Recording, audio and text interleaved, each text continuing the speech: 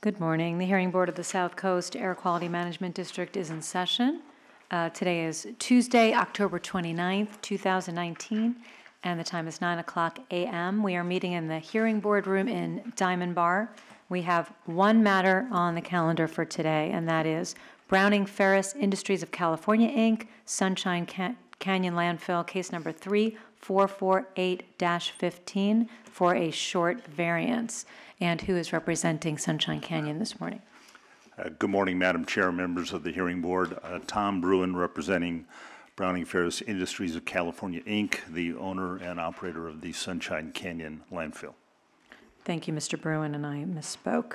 Um, And who is representing the executive officer today? Uh, Sherry Hani Zavara on behalf of the executive officer. Thank you, Ms. Honeyzavra. Um, First thing I'll do, we have a few things to do. We have to mark a a whole lot of exhibits. Um, But first, I'm going to ask anyone who wishes to testify today, including the members of the public who have filled out speaker cards and anyone else who wishes to give public comment, please rise to be sworn in. Please raise your right hand. Do you promise to tell the truth, the whole truth, nothing but the truth, so help you God? Thank you. Um, Okay, first of all, uh, this is a continued hearing, it's not a continued hearing, but we had a hearing on this, as we know, uh, for an interim variance. That, even though we had members of the public present, that hearing was not noticed because it was on an emergency basis, and we found good cause as a board to move forward with that interim variance hearing uh, absent notice to the public. Today, we are on a fully noticed short variance hearing. Um, And so the first question I have for the parties is, uh, would you uh, like to, or do you have any objection to incorporating the evidence and testimony that we received at the interim variance hearing? Mr. Bruin? I was going to make that request, so no objection. Okay, thank you. Ms. Honeyzavra? Uh, No objection from the district either. Thank you. So that evidence and testimony is hereby incorporated into the record.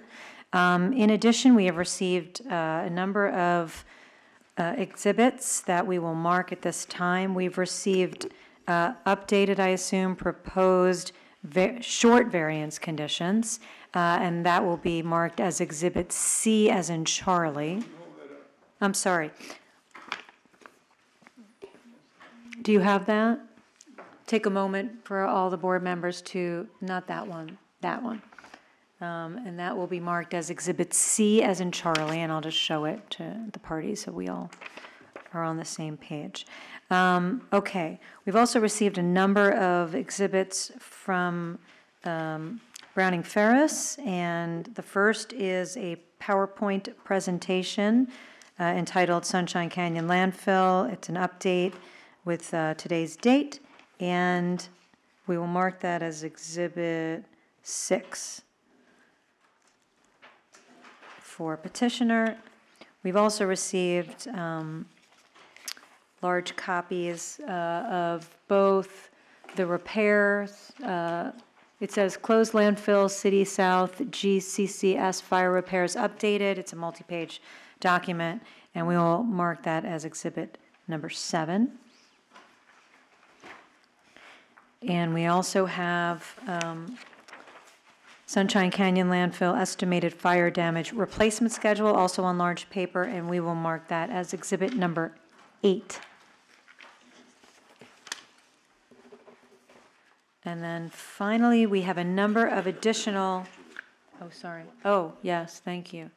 We also received um, a document in a binder that is marked as, or that states on the cover, Sunshine Canyon Landfill 2019 Saddle Ridge Fire Closed City Landfill Photos, with October 23rd as the date, and we will mark that as exhibit number nine.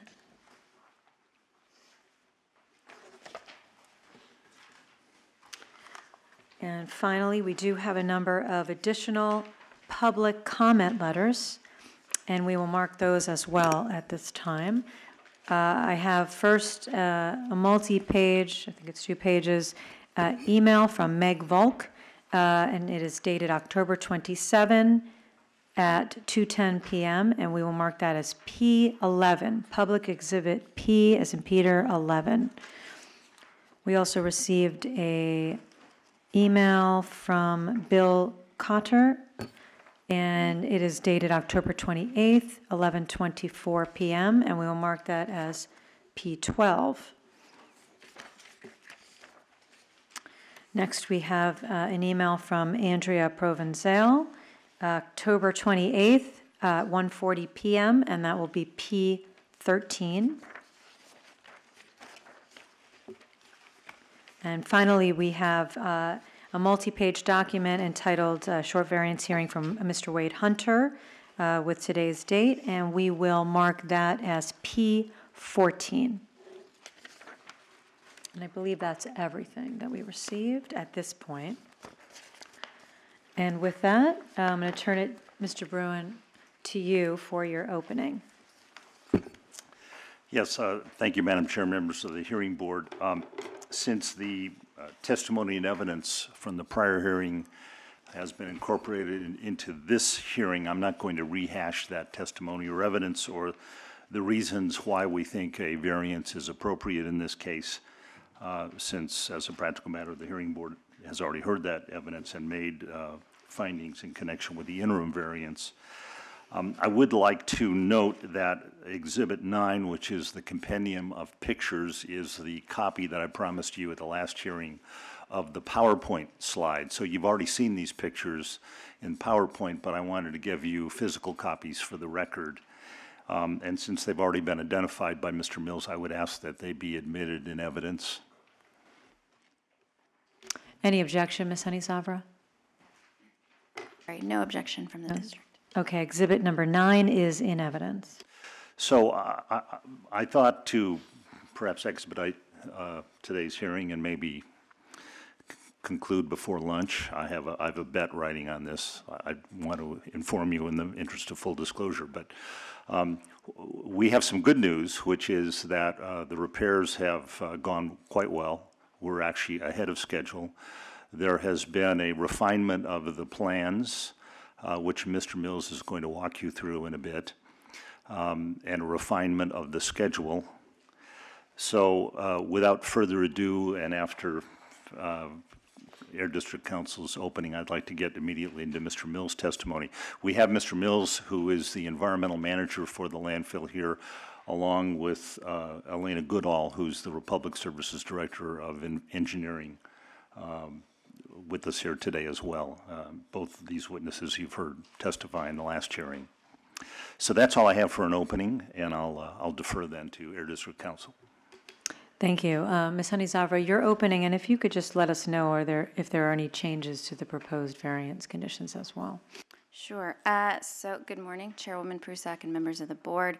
Uh, Subject to the evidence and the testimony that we hear today, um, as well as the proposed conditions uh, that have been shared with petitioner and agreed upon, um, of which we may still have a couple of additional tweaks that may come out um, during testimony, uh, the district does not oppose the granting of a short variance. Uh, With respect to the proposed conditions that you see before you, uh, Condition 1A has been revised, uh, just for clarity. Um, It didn't appear clear that the, uh, the one-hour startup period um, applied only to flare number three, so uh, we just, we just uh, cleaned that up a little bit. Uh, In addition, we added, oh goodness, one second. Uh, Condition number six, um, And this will require a petitioner to perform an inspection check of the flare components um, between uh, the time that the landfill is re-energized with grid power and then the initial startup of flare number three. Thank you very much. That's very helpful for the board. Mr. Bruin, you may present your witness. All right. Mr. Mills, would you uh, state your full name and indicate whether you've taken the oath?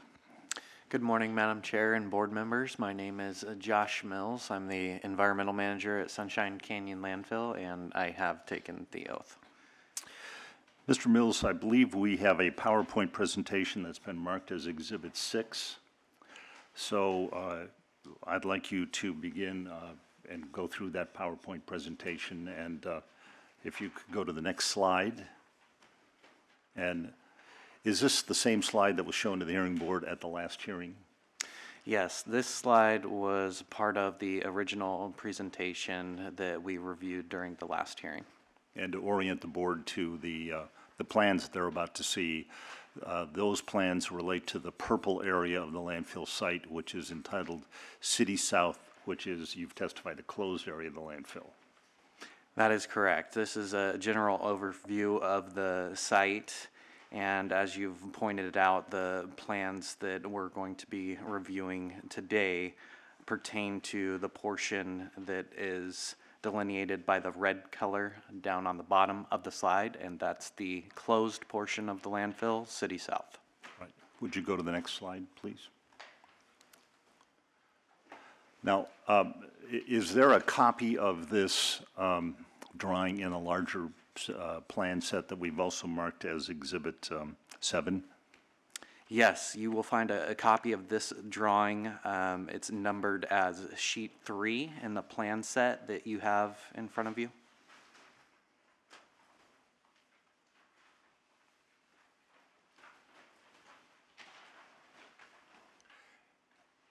Now, has the hearing board seen this page before? They have. We reviewed this page during the last hearing, and um, in particular, this gives a general overview of uh, the damage that we sustained in City South. So in particular, the bold orange lines on the sheet um, indicate the gas connection piping that was uh, damaged in the fire. And the um, smaller black faded back lines are the portion of the gas collection and control system which were not damaged in the fire. There are also wells on this slide. Um, The wells are the small black dots with the associ- associated well ID indicated next to those black dots. Senator has There's a a, lot of black lines there. And uh, all those black lines are the, the one you're referring to. Yes, so the black lines on the sheet are the portion of the system that was not damaged in the fire. Okay, thank you. they can That's continue. it. Thank you very much. You may continue. Sure. And the only other thing that I wanted to point out on this slide was the 13 wells that are circled red. That's off to the right-hand uh, portion of the sheet. Um, Those were the well casings that we had identified that were um, damaged in the fire. Would you go to the next uh, uh, slide, please? Now, is this uh, also shown in the plan set? Yes, you will, you will find this on uh, sheet four of the plan set. Now, is this a, a new drawing compared to what the hearing board saw at the last hearing? We have revised this drawing slightly, um, and in particular, we revised the phasing of this drawing. Um, so if you'll recall, the last iteration showed that the uh, phase two portion of the repairs was going to occur off to the left-hand uh, side of this uh, sheet. And now we have flopped the phases so that phase two is phase three and vice versa. Um, and we did this because upon a ver- further evaluation, we realized that we could more quickly perform the repairs um, in the new phase two area and bring that portion of the landfill online quicker uh, rather than trying to perform the repairs in the old phase two or the, the new phase three um, and, and get that side of the landfill online. So this was all done um, in an effort to expedite performing these repairs. Madam Chair, if there aren't any questions, we'll go to the next slide. Well, we'll, I think we'll wait All right. and and hold questions till That's the fine. end. Thank you. And you. then could you go to the next slide then, Mr. Mills? Well, and what does this uh, slide depict? This is sheet five in the design package that you have in front of you, and uh, this shows the progress that we've made on these repairs as of yesterday, October 28th. So of note, you'll see that the repairs that have already been made in uh, Phase One and Phase Two are highlighted with the bold blue lines. And that shows that we've completed almost all of the gas connection piping in those phases. And we are currently hooking up the actual well casing to the gas connection piping. Um, and, and that's what we're doing currently and will be doing for the next day or two. Now, you s- talked about hooking up the well casing. You showed the hearing board pictures at the last hearing of pipes that were missing the well heads. So, uh, are, as part of this work, are you having to replace some of those well heads? Yes, we are, many of the well heads uh, sustained damage, uh, so we are gonna be replacing those well heads. And uh, so what are the next steps in terms of phases one and two, in terms of bringing them online? Another question from Senator. In the last diagram previously, the, we- the wells that were damaged were listed in red. Now, when you look at uh, page five, uh, there's, does it suggest that they're all been corrected?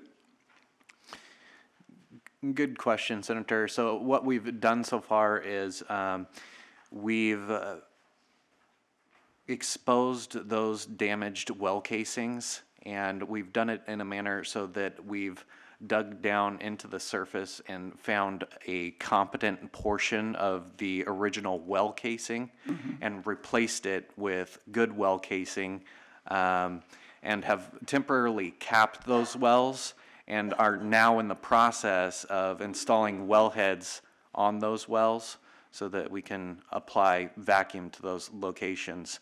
Now, um, it, it, it doesn't mean that those damaged wells um, have been completely repaired. We won't know for sure if, if those wells um, are, are adequate gas collectors until we bring them online. But um, from a physical infrastructure standpoint, we have corrected all the deficiencies and are going to be connecting them to our gas collection system. Before us today is a short variance. Therefore, what is the estimated time for a com- final and complete repair of those wells? I think we're going to hear that uh, through the testimony, so that's why I'd like to wait I- and allow I know you want to wait, but the fact of the matter is, coming back to this again would, would be more time consuming and misunderstood by me. I, I don't believe that's the case. I believe most of the testimony is going to be about where they are in the repairs and where they're going and the timing, and we'd like to hear that and not But interrupt if you can give me a it. quick answer on that, I wanted to ask it again. Fine, if you can answer quickly, please. Sure. Um, So the, the Phase Two completion date per the updated schedule is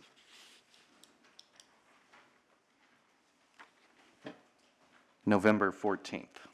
Okay, thank you. You're welcome. Is there anything else, uh, Mr. Mills, regarding um, the current slide that you wanted to discuss, or should we move to the next slide? There will be many questions. I think it would be handled best if we went through. it Right, I'm sorry, I was, I misspoke. Do you have anything else you want to uh, c- uh, comment with respect to this slide? I think we've covered everything All on right, this slide. let's move to the next one then. Can you tell us what this is? Yes, and this can be found on uh, sheet six of the package that you have in front of you. This is the updated uh, schedule. You, you saw the first iteration of the schedule during the last hearing. Um, and in particular, we're going to be focused on the closed portion of the landfill schedule, which starts on line sixteen. Uh, f- uh, Madam Chair, members of the hearing board, uh, s- that schedule is also Exhibit 8, so it's, a it's easier to read if you get out the big, big copy.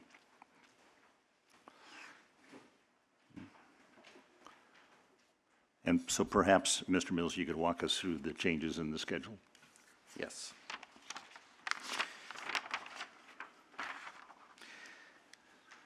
So in particular, um, like I discussed, we reassessed our approach for implementing this replacement design and found a more efficient way to make the repairs in phases one and two. um, to expedite bringing on a portion of the well field as soon as possible. So you, you'll see that reflected in the schedule. Um, We've overlapped rows 19 and rows 23 um, which correspond to the both, both phases. So essentially, we're making repairs in both of these phases concurrently. Um, You'll also see the tasks that we have already completed um, were ahead of schedule, and that the finish date has been um, moved forward to December 20th, 2019. Um, The next step in the process is basically finalizing the installation of the turn-down kit for Flare 1, starting that flare, which will occur at the end of this week, November 1st, and then proceeding with um, Phase 3 construction.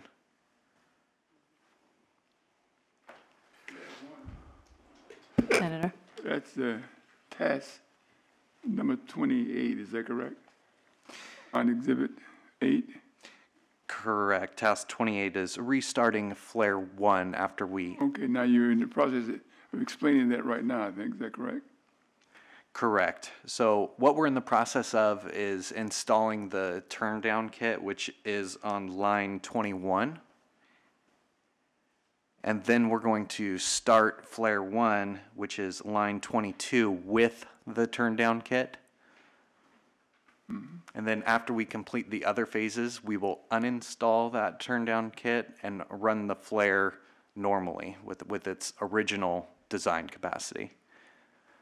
Then that process will be completed. Then that process will be completed in terms of that flare. Correct. Thank you. Yes. So, Mr. Mills, we've been talking about the construction schedule for the repair of fire damage to the closed City South landfill. Once all those repairs have been completed, what else will be necessary to bring the closed landfill back into compliance with District's Rule 1150.1 and per- applicable permit conditions? After all the repairs have been completed in each phase and um, the turn-down kit has been uninstalled and uh, Flare One is operating normally, we will then need to retune and balance the well field um, to bring operating conditions back to um, an equalized state. What is involved in retuning a well field? Our gas operating and uh, maintenance consultant, SCS engineers, um, will be providing support via uh, well field technicians who will be going around and tuning each well um, as it's brought online and as more are brought online um, to balance the well field based on gas quality of that in particular well. Um, and that is a repetitive process. It, it will take um, a couple rounds of well field tuning to complete. Does each uh, individual well have a valve that can be turned to quote-unquote tune the well? That's correct. Each well has its own individual wellhead with a um, adjustable valve so that each collection point can be tuned based on um, specific compliance and gas quality parameters. And does that valve control how much vacuum is placed on that individual well? That is correct. So balancing the well field involves repetitively going to each well and doing small adjustments on the valve to make sure that the whole well field is balanced. Is that correct? Yes, it, it is a repetitive process and it takes um, multiple rounds to complete.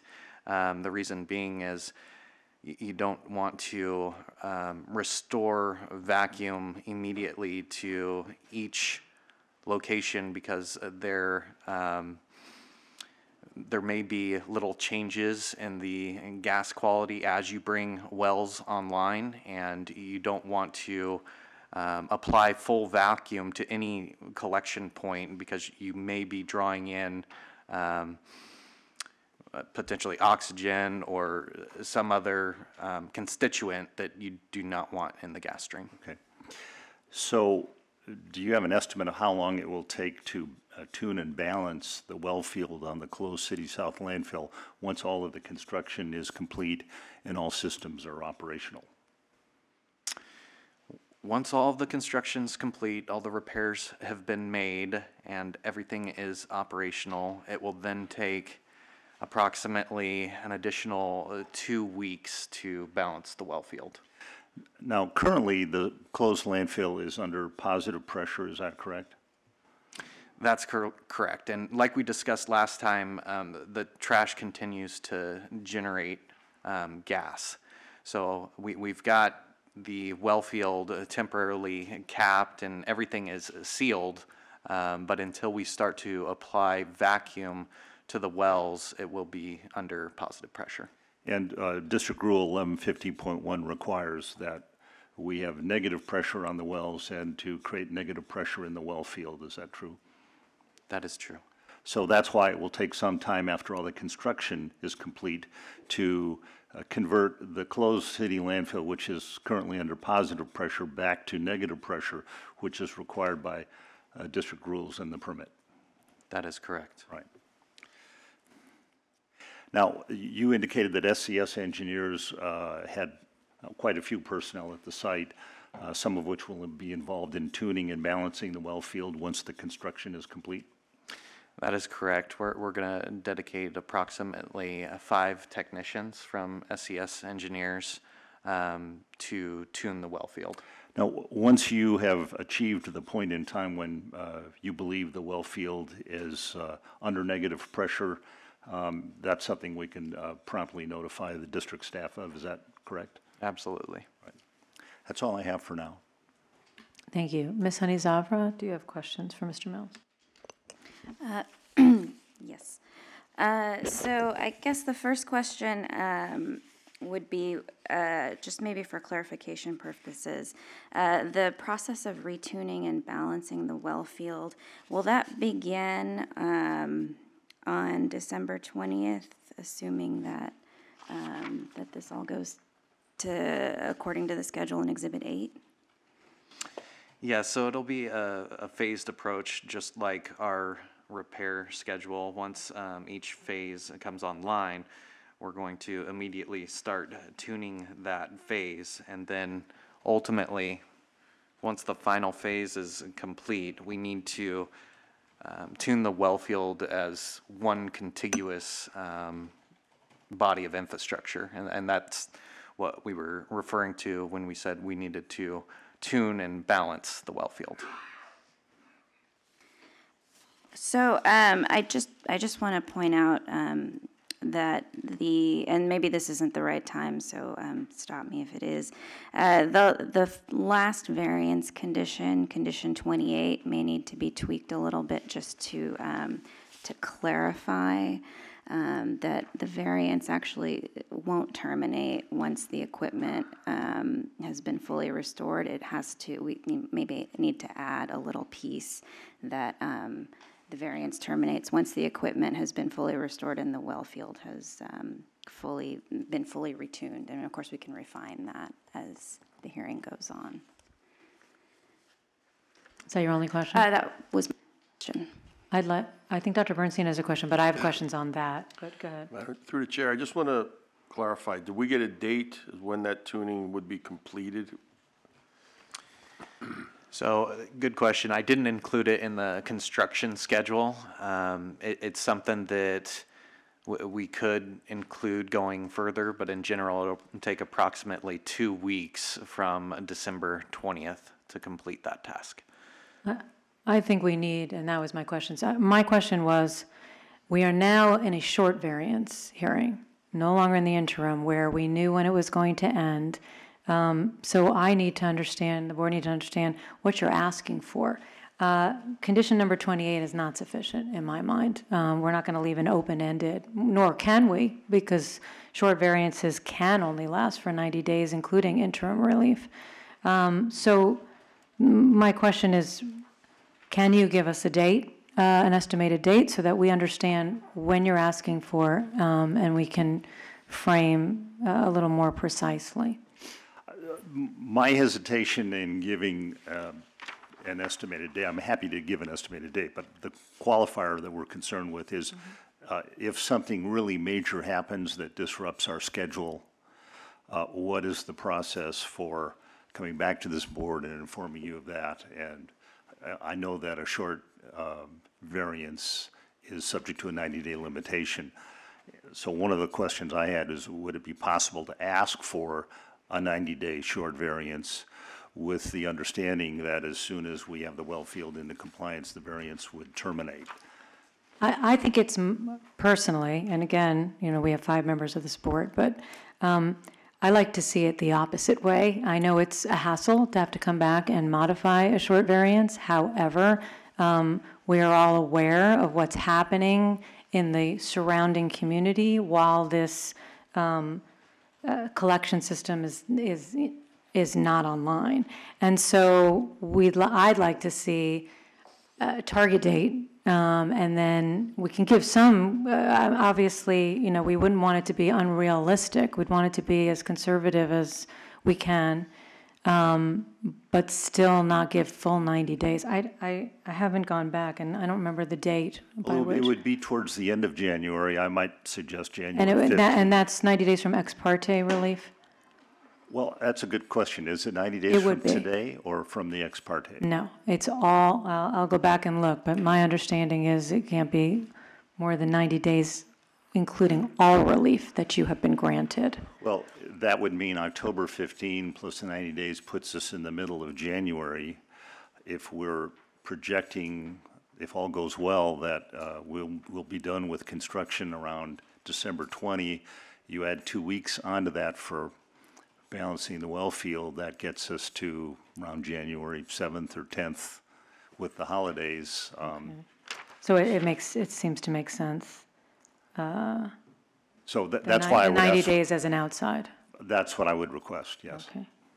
Uh, And you, and just, just to be clear, again, uh, we would have to renotice this very differently if it was a, if it goes beyond 90 days. So uh, we would have to know about that very far in advance. Well, my understanding is that a, a, a regular variance that has, that's longer than 90 days requires 30 days public notice. And I Yes, had dis- published. I had discussed with district counsel that if something untoward happens, I'd contact district counsel well before that 30-day period, and we would discuss, you know, notifying the clerk of the need for an extended variance period. Hopefully, that's not going to happen. Um, One thing I would like to mention, and there's a question I forgot to ask Mr. Mills, if I could just uh, reopen his questioning for just one follow-up question. Please. Uh, M- Mr. Mills, do you have a current update on when power to the site, full power to the site will be restored from the utilities? Based on our last conversations with Southern California Edison, and um, keep in mind that these are just estimates, but they've told us that they plan on restoring power to the site by um, the end of this week. Have you also been getting notices from uh, Southern California Edison of planned public safety power outages in, uh, affecting the landfill? I have. Um, uh, Have any been instituted thus far? I'm, I'm not sure that they have, just because we don't currently have utility power from Southern California Edison. So you just don't know, but, but that is a potential that you could also have a public safety power outage. Yes, that is a potential. I just wanted to follow up on the status of power. But you're over the 200 hours at this point, correct? That is correct. Okay, thank you. I I just point that out when we're talking about the variance period. We also have that unknown, which hopefully won't be an unknown much longer. But the question being, when will utility power? You would need a variance for the generator through the end of the year, which would be a different time period, because then that 200 hours would reset. Oh, yes. Okay. Okay, that was one of the questions I had, so uh, that was answered. Um, And are you on, so you are on schedule to, um, with the turn-down kit, start flare one on Friday, which is November 1st? That is correct. Okay. Do you know, uh, Mr. Mills, um, whether the facility has uh, continued to receive complaints? I mean, I would assume so, but do you know that? We are occasionally notified um, by AQMD inspectors when we receive complaints, and I, I have heard of a few, yes. Do you know if any, uh, uh, any, any NOVs, notices of violation, have issued due to uh, odor complaints? No, n- since uh, the fire, no NOVs have been issued due to odor complaints. Okay. Um, Is there, oh, go ahead, Mr. Bruno, did you have a? If I may clarify, we know there have been some confirmed odor complaints that under district rules could result in issuance of a notice of violation. We just haven't received any yet. Okay. Um, And that is, I, I know you're well aware, because one of the conditions is, uh, I think it's 25, um, that granting of relief is, does not exempt from complying with all other rules and regulations, including nuisance. Yes, And, and we couldn't give a variance from nuisance. we understand. Okay. Just wanted that to be very clear on the record. Um, You answered that question. The, is there any part of the schedule, well, is there any part of the schedule that you feel, I understand there are unforeseen, and I do, I think it's very encouraging that you are ahead of schedule and that everything you said would be done by today has been completed. Um, Is there any parts of the schedule that, uh, that you could um, say will be done with certainty by certain dates and, con- and um, uh, agree to as part of conditions? Or is it all subject to unforeseen events?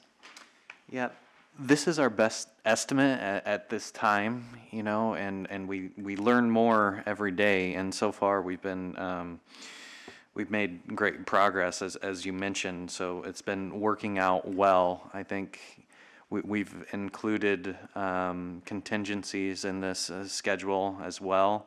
Um, some of the unforeseen issues that could come up and stall our progress could be something like equipment failures, um, you know, uh, uh, uh, parts availability. At, this point, we have most of what we need to make um, all of the repairs and replacement, but I'm just trying to think if there's anything else that could come up to, to stall progress, but um, An- Another fire?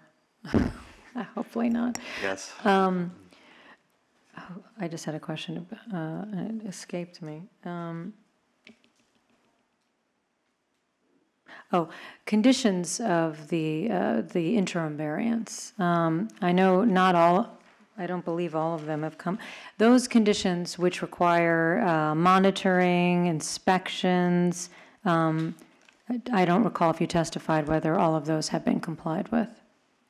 Yes, we're complying with all the conditions. Um, With respect to the monitoring conditions, um, now that we're wrapping up repairs in the Phase One and Phase Two area, we're going to recommence um, surface emission monitoring uh, shortly. We've already coordinated with our consultants, um, and they are on the schedule to get out there and perform that monitoring. Thank you. Um, And the question I had that escaped me, at the last hearing, did you testify or did someone testify that there were 50 employees who are working on this? Uh, Did I get that right?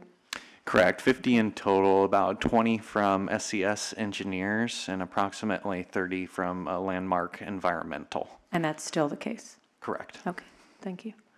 Board members. Uh, Ms. Verdugo Peralta has a question. Thank you, Madam Chair. Um, Mr. Mills, in your discussions with Edison, uh, did you, um, were you given a date by them at all? And were dates discussed in reference to regeneration? We've been trying to get a definitive date from them, but um, they just provide us with estimates When did you speak to them last? um, earlier this week, so yesterday. Yesterday, okay. And did they say that they would uh, be uh, conducting an onsi- on-site inspection before they regenerize? Or regenerated, I should say? No, we, we didn't discuss that, and uh, the way it works is um, their portion of the infrastructure includes everything up to our meter, and then everything after our meter is our infrastructure and our responsibility to inspect. Um, That said, we, we have already had our consultants, our um, licensed electricians out and inspected our portion of the utility to make sure that everything is in good working order.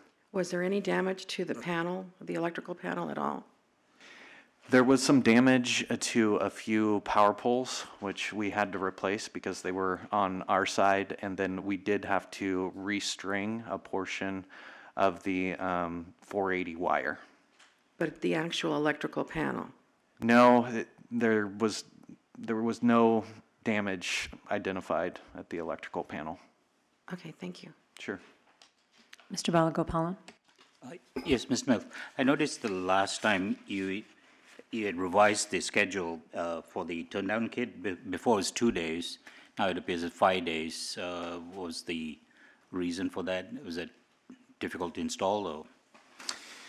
Yes, you're correct. We, we have revised the schedule for the installation of the turn-down kit, and we, we did run into a couple challenges i- installing the equipment. Um, we think we've overcome that, um, and, and we're making good progress, and, um, we'll be able to meet that deadline. So uh, i- is it completed or it's still, uh, you, you expect to do it by tomorrow? I do expect it. I would say, yeah, by, by tomorrow, correct. And then you're going to take pictures and send it to the, uh, as required? That is, and we will. How many are you blocking? How many, uh, There are six burners in total on that style of flare stack, and we will be blocking four of the burners to get our anticipated flow. Uh, uh, Talking about the flow, what, at what point do you consider that the landfill is operating properly? You had a, an idea how much flow you had before to the flare? And is that uh, one of the measures you'll take if you're getting that or a higher amount? Absolutely, definitely one of the measures that we'll be taking into account. So pre-fire, the flows were um, approximately two, 2,200 SCFM to that flare stack.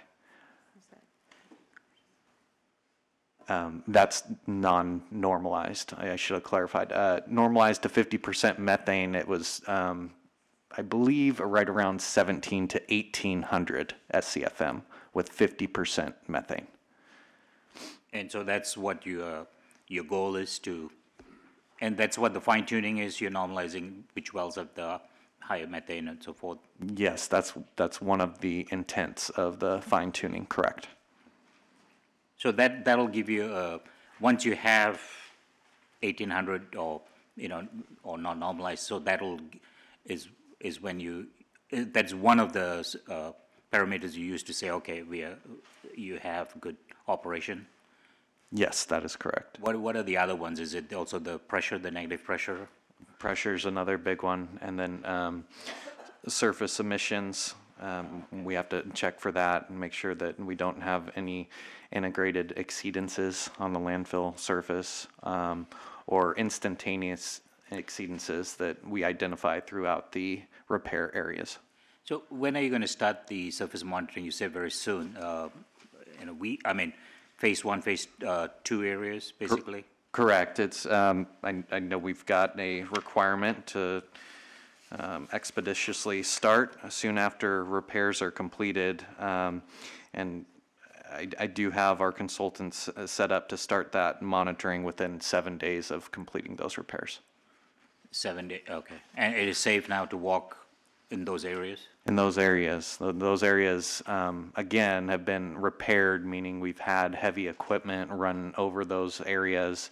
And w- we don't believe that there's, um, unsafe conditions due to the voids that we talked about, uh, last week because the weight of the heavy equipment most likely collapsed those voids. um, I also noticed that you had updated your county replacement plan and city north uh, replacement. It went from uh, 71 days to 62 days from the prior. And is that where you get, uh, it- especially the flare uh, three pipe heading installation went from uh, 10 days to seven days. So th- these were corrections you were making based on feedback you got, or because y- your days went down from the other two? Correct. It- th- This is updated based on the progress that we've made. Okay. Okay, thank you. Sure. Other questions? Okay, speak now. It's always okay to speak, Senator. Mr. Mills, uh, your charts or diagrams presented today compared to the diagrams last week, any significant changes in two, phase one, I mean, phase two and phase three, in terms of days, duration of operation? Yeah, there have been some changes, Senator. Um, in particular, when we flopped the phases, um, we added uh, some days to the new phase three because we evaluated that area and determined that there's actually additional grading that needs to occur so that all of the gas connection piping will drain properly and the liquids don't block the gas flow in the pipe. So this extra activity of grading the surface before you install the piping i- is gonna take a couple more days. But Was grading the surface for phase two, uh, phase three is different from phase two? It is, um, just because of the nature of the natural disposition of the landfill. Um, the new phase two is primarily on a slope, so we can take advantage of that natural slope, um, by placing our pipes in a way that will drain with the slope. Whereas phase three is more on a, um, flat area, and, and we have to create artificial ramps and, um, drainage pathways for, for That's the the current pipeline. phase, the current phase three. Correct. But uh, looking at the diagrams and the wells that were damaged, there's more activity speculated and the previous diagram than where shows phase three compared to phase two today. There's more activity in terms of making repairs. You have more wells that, wellheads that were damaged. Sure. Um, so let's see. You're right. So on phase three, we've got um, 65 wells, and on phase two, we have 32 wells. Um, and, and these are the wells that we're installing new wellheads on and then reconnecting to vacuum. So you're right. There are more wells on phase three than phase two. Well, you could not be certain that, that you would finish it at a guesstimated time, the job, uh, with ninety days, or whatever the case may be. Uh, Can you anticipate that there could be a slippage?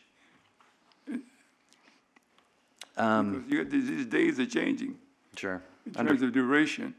Underst- Carry on. Yeah, understood. Um, And again, th- this is our best estimate that we have right now. There, there could be a slippage, and as I I previously stated, this could be attributed to um, things like equipment failure. Maybe one of the pipe welders goes down, um, and we can't quickly find a replacement for it or something like that. But that being said, we have built contingencies into this plan um, so that the, the deadlines are, are somewhat conservative as we see them today.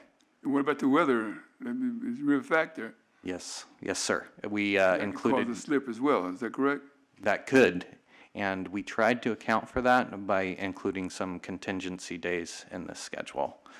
Um, So if you look at the tasks that have already been completed, we've been beating the deadline so far. That's because we haven't encountered any um, bad weather days. We've, we've been able to work straight through the schedule. In terms of the flares, flare one, nothing is completed. Started but not completed. November, November, November, December. On flare one, we, we haven't started installing the turn down kit. Correct. Uh-huh. So it's not completed. And so weather could play a factor. That's the time of year it could happen. Sure, we- weather could be a factor, and, and we've tried to account for that in this schedule. So anyway, again, once again, nothing is completed from the start of flare one yet. Some, of most of it has not been started, according to your- your schedule. Senator, are you talking about whether or not the work on Flare One has started yet? Right, it has not. So, Starts in November.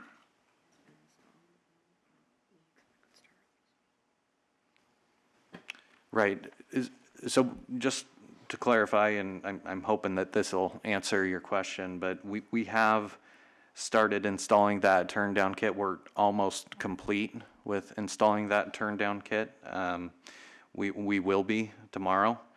And then, um, we'll be starting up flare one to pull gas from phases one and two the following day. So that's, or I'm sorry, Friday. The reason why I refer to your, your chart here, your dates, schedule, because when the chair asked you a question regarding completion, of final testing, you couldn't give it a definite answer. And there's a reason why you can't, because it's, you can't predict it based on extenuating circumstances. Yeah, and again, ba- based on our knowledge of what needs to be done in the well field, this is our um, Best most guess. best realistic guess, correct? One, one mo- one moment, Ms. Verdugo Peralta will have a question, but I just have a question on that. Um, So, as we're seeing, it, it's a somewhat tight schedule, and because we're here on a short variance, um, I, I keep trying to count, but my counts keep coming off by a day. So it's somewhere between January 11th and the 13th, because we would have to include the 15th. So I just wanted to make sure that I hear on the record that as soon as you know that it looks like, but that's very tight in turn, in terms of the two weeks you said you need after the 20th.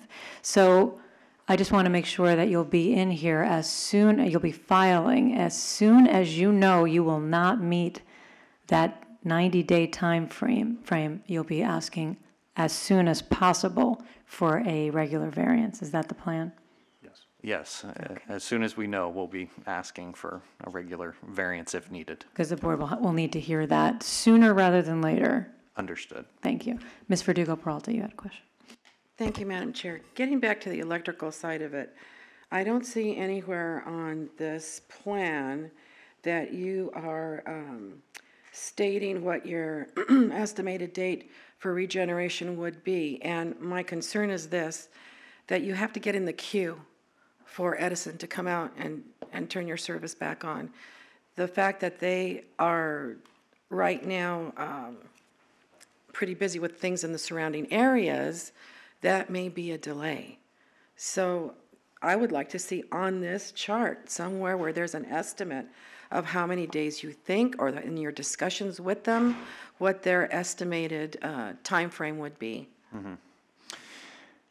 And, and just so that you know, we, we have been trying to get into that queue, um, working with them, but as you mentioned, I know that they're spread very thin right now. They've gotten resources all over trying to repair a lot of their infrastructure. Um, and we, we frequently follow up with them and, and have these conversations with them, and they tell us that they're working towards um, repowering um, our site. So, um, as far as including it in the schedule, we, we tried to focus on strictly the gas collection and control repairs. Um, but to that end, I, I see your point. Um, that's something that we could try and figure out how to incorporate. Because the delay realistically could be a week or two, realistically.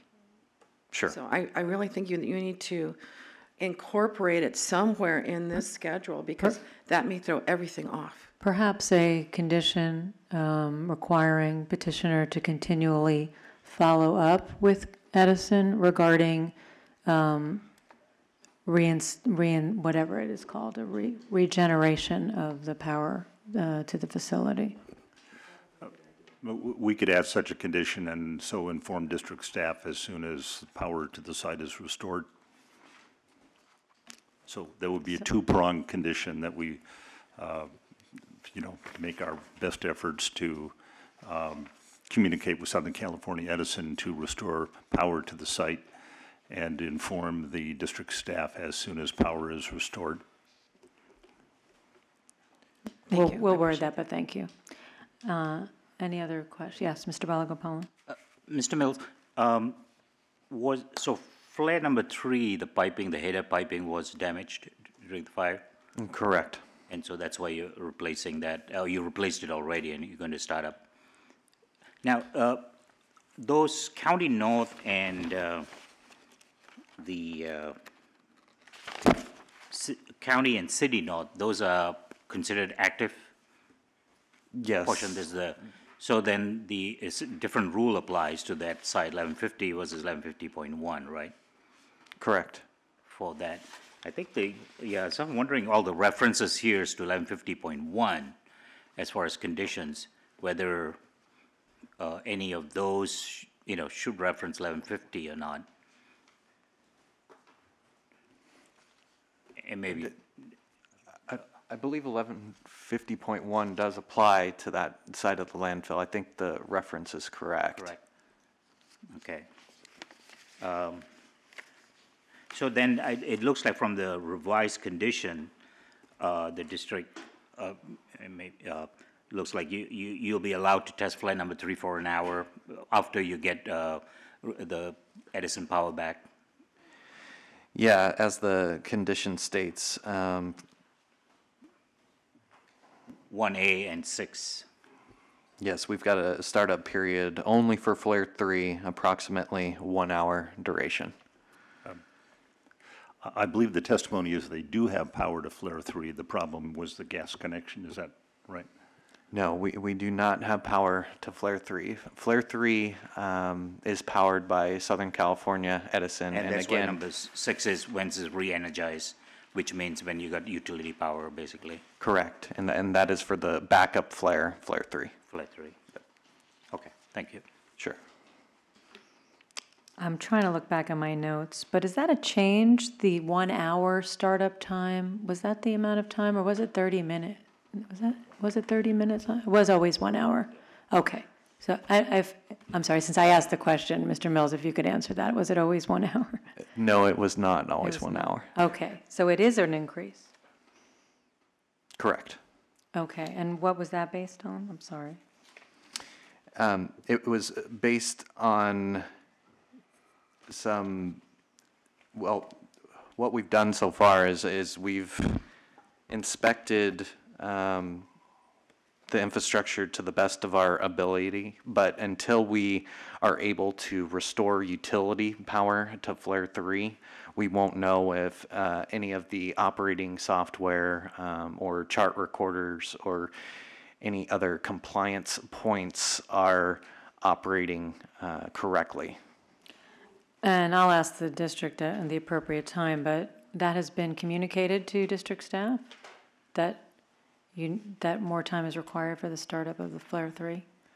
That has, and, and that's uh, something that we discussed during the last hearing. And that's why we're seeing it on uh, the revised conditions, and that's because the district has considered that and agrees that that's a, s- that is a proper amount of time? That is correct. Okay.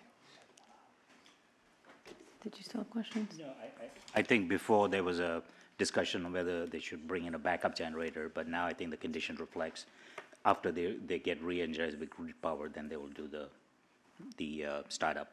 So they don't have to bring a backup unit to do that. Okay. Any other questions from any other board members or either of the parties for Mr. Mills? Okay. Um, Mr. Bruin, uh, did you want to introduce uh, your other witness? Uh, No, we have no other witnesses, but I would ask that our exhibits um, uh, seven, eight, and nine be admitted in evidence. I'm sorry, six, seven, and eight. Nine's already in evidence, which is the pictures. Oh, correct. Uh, Ms. Honey Zavra, any, uh, any objection? Uh, no objection. Okay, uh, exhibits six, seven, and eight are now in evidence. Okay, um, Ms. Honey Zavra, I will uh, turn it to you. Uh, I see you have Ms. Shabata. Um, Would you like to present any testimony? Uh, Can I ask for five minutes off the record? Um, I want to discuss a, a potential new condition with um, petitioner. Okay, yes, please. We'll take five minutes off the record. We're off the record.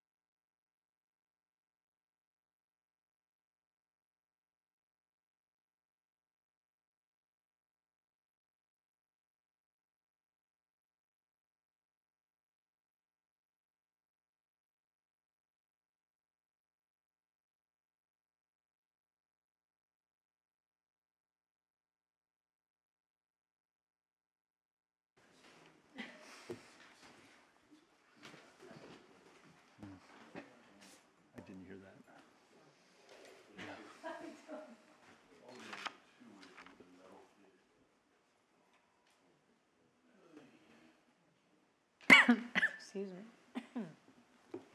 We're back on the record. Um, Okay, Ms. Honey Zavra, um, was there additional, well, we do need wording for that, uh, the one uh, Ms. Verdugo Peralta wanted to add, but did you have additional um, conditions you wanted to propose? Uh, Yes, but um, I'm going to call Angela Shibata uh, to kind of give you a little bit of a context for the conditions that we're adding. Um, So uh, again, calling Ms. Angela Shibata, uh, uh, please state your name and position uh, with the district. My name is Angela Shibata. I am a super, supervising air quality engineer at South Coast AQMD. And have you taken the oath today? Yes, I have. So, Ms. Shibata, you recall during the interim variance, um, the district proposed a condition um, that it would work with petitioner to calculate excess emissions. Um, What information or what additional information um, does the district need in order to make those calculations or to verify those calculations? The excess emissions from the landfill gas collection system being down, um, we would need to know the quantity of landfill gas being generated at the site, uh, how much is being collected at the site, and how much is being combusted in each of the control equipment to then calculate how much is fugitively being emitted to the atmosphere.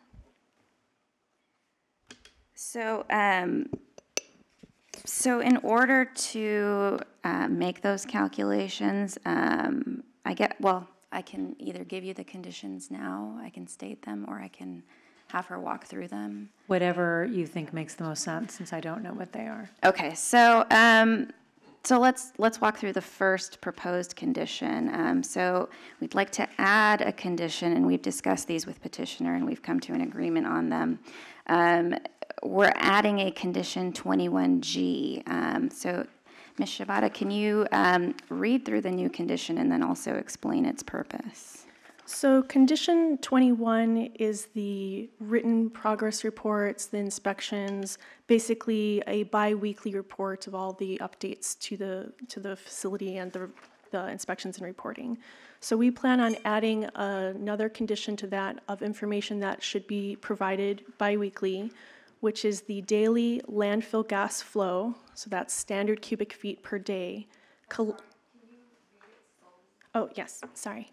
So 21G, the addition should read, "The daily landfill gas flow," parentheses, SCF slash day, end parentheses, collected from the landfill and combusted in each flare.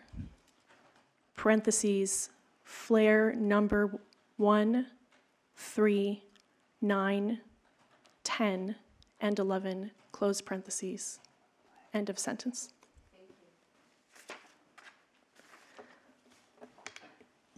And then the second uh, proposed condition, or newly proposed condition, um, we want to add a condition number 24.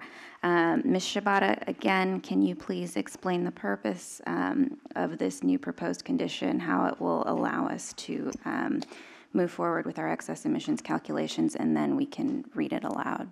Um, So the condition 21G gives us the forward-facing amount of landfill gas being generated and uh, controlled in the respective control equipment. So that tells us um, how much is being controlled, but to understand how much landfill gas is being collected from a historical context, how much landfill gas is uh, on average being collected day to day, month to month, we're requesting for histo- historical data from earlier in the summer so that we have an idea of what that value is. So we do not underrepresent or overrepresent the amount of emissions that would be emitted fugitively.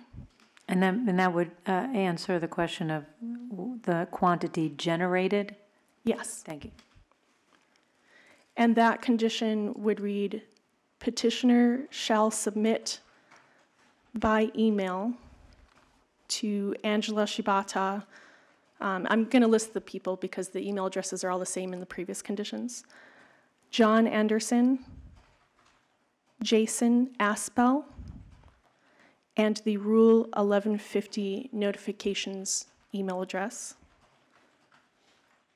within seven calendar days after the variance is granted, and daily landfill gas flow, parentheses, SCF slash day, close parentheses, combusted in each flare, parentheses, flare number one, three, nine, 10, and 11, close parentheses, from June 1st, 2019 through October 29th, 2019. So this condition, like I had mentioned, will give us the total flow uh, being collected, being generated from the landfill and collected, and the respective uh, flow going to the individual controlled devices. Can you read that again into the record? Because I, I don't think we got everything. And can you, did you say where that would go, what number it would be as well? We're proposing to insert this as number 24, pushing the rest of the conditions down. Okay, and then if you could just repeat it so we could fill in the blanks. Yes. Petitioners shall submit by email to Angela Shibata, John Anderson, and Jason, or Jason Aspell, and Rule 1150 notifications within seven calendar days after the variance is granted, the daily landfill gas flow in SCF per day Wait, wait, slow down again. Within seven calendar days after the variance is granted, is granted. comma, really, because that's a parenthetical phrase. Um, The daily landfill gas flow The daily landfill gas flow. in standard cubic feet per day. So we uh, abbreviate that with SCF per day. Combusted in each flare.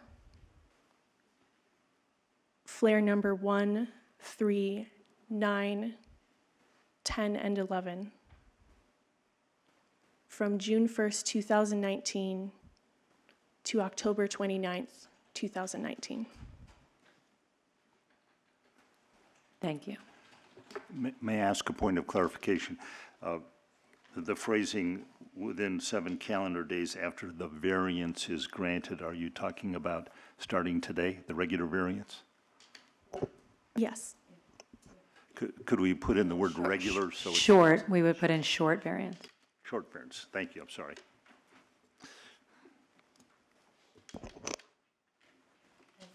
And we would say this short variance. That would, that would be very precise.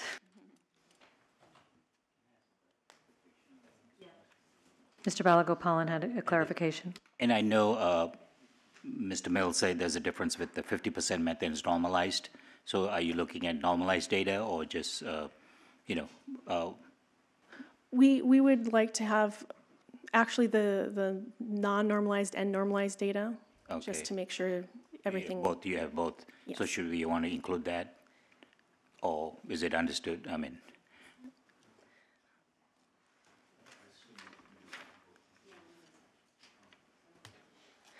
I, I believe that, that can be added for clarification, but would like to check, yeah. confirm. Okay.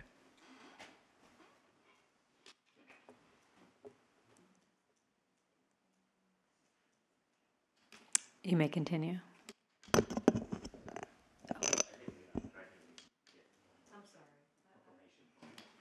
Okay, I'm- I'm I apologize, I was writing something.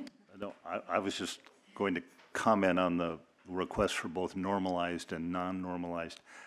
Uh, My uh, team is telling me that we may not have the normalized data on a daily basis. Um, But the, the non-normalized, the actual flow is, is easier.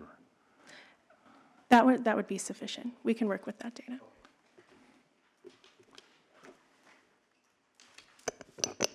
Okay, now, right, now we can, we we may continue.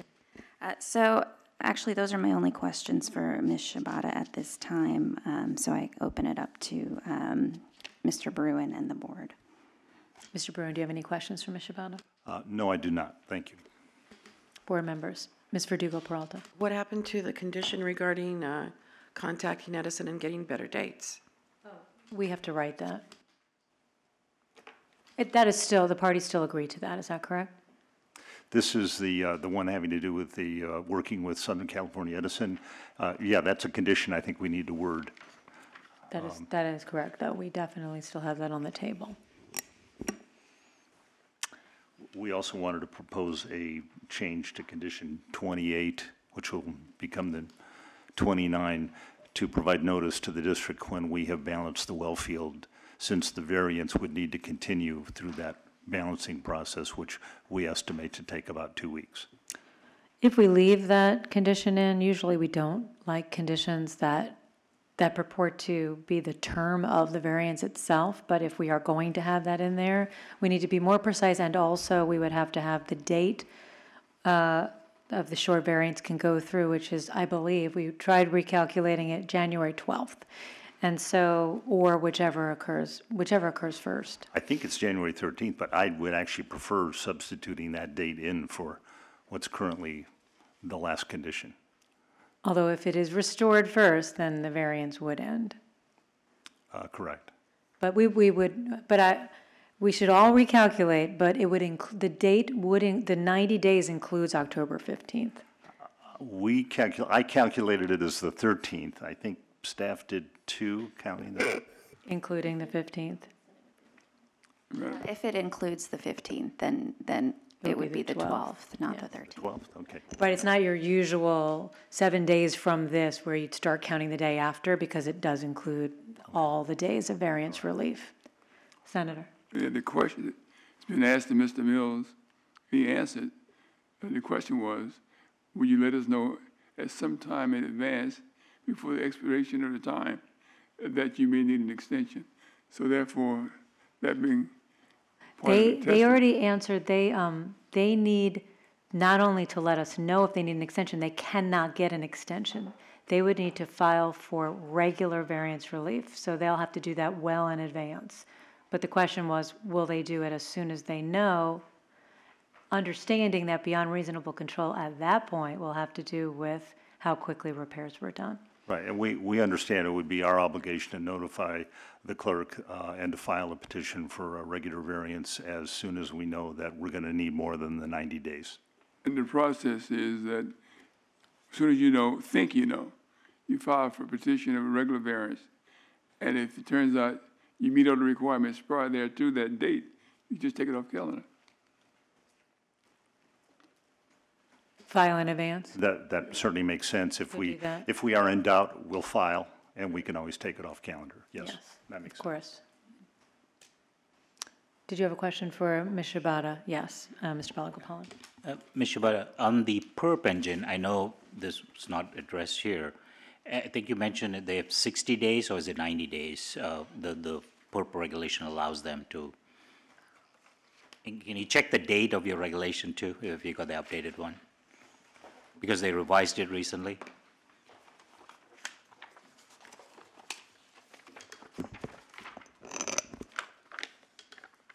The condition, Uh, Can you say, uh, cite the date of the regulation order? Uh, I don't know that I have that. That, okay. I have the, this engine's perp regulation conditions. Okay. And, and this condition reads, this registration is not valid for the operation of generators used to provide primary or supplemental power to a building, facility, stationary source, or stationary equipment, except during the following scenarios. Unforeseen interruptions of power from the serving utility, and it has semicolon. I'm going to say the, the punctuation so that it's a little more clear. Uh, maintenance and repair operations, semicolon, and electrical upgrade operations that do not exceed 60 calendar days. So 60. the 60 calendar days is associated with electrical upgrade operations. Okay. If they're getting the power within a couple of weeks, then that should, uh, is, is your understanding that they'll stop using the perp engine also, once they have the, My understanding is once power from Edison is restored to the facility, the perp engine and the emergency engine will no longer be needed to power the flares to control the, con- the uh, landfill gas. okay, thank you. Will, they'll, they'll no longer be needed unless there's another power outage? Correct. Okay.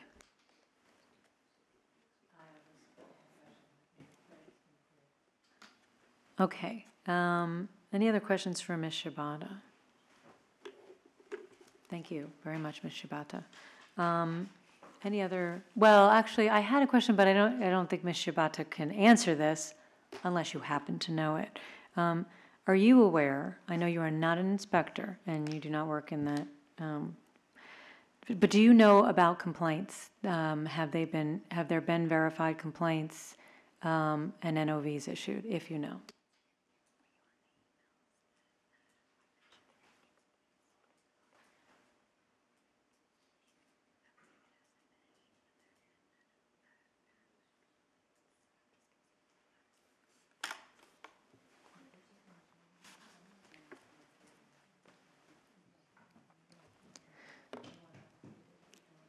So, so my understanding is that there have been verified complaints, but I'm not certain uh, when those plaints, complaints have occurred or if a notice of violation has been issued in regards to those complaints at this time. Is there anyone who might be able to answer that question? Uh, There is, um, we would need a couple of minutes to call him downstairs, uh, Mr. John Anderson. Um, If, if we can get five minutes, we can, we can try to get him down here. Okay, and I understand it's not, uh, it is relevant, but not relevant. I mean, it's relevant to the whole context, uh, but, you know, it's not a a variant, but it's not a variance from nuisance, and so we want to understand what's going on. Um, Let's take a break and do that, because I also, um, uh, I want to take some time to make sure we've read the, uh, all the public comments uh, as well. Um, And I, and Dr. Bernstein was indicating he may have questions uh, for one of the parties based on some of the public comments. So let's take a 15-minute break and um, come back at uh, 10:40. We are off the record.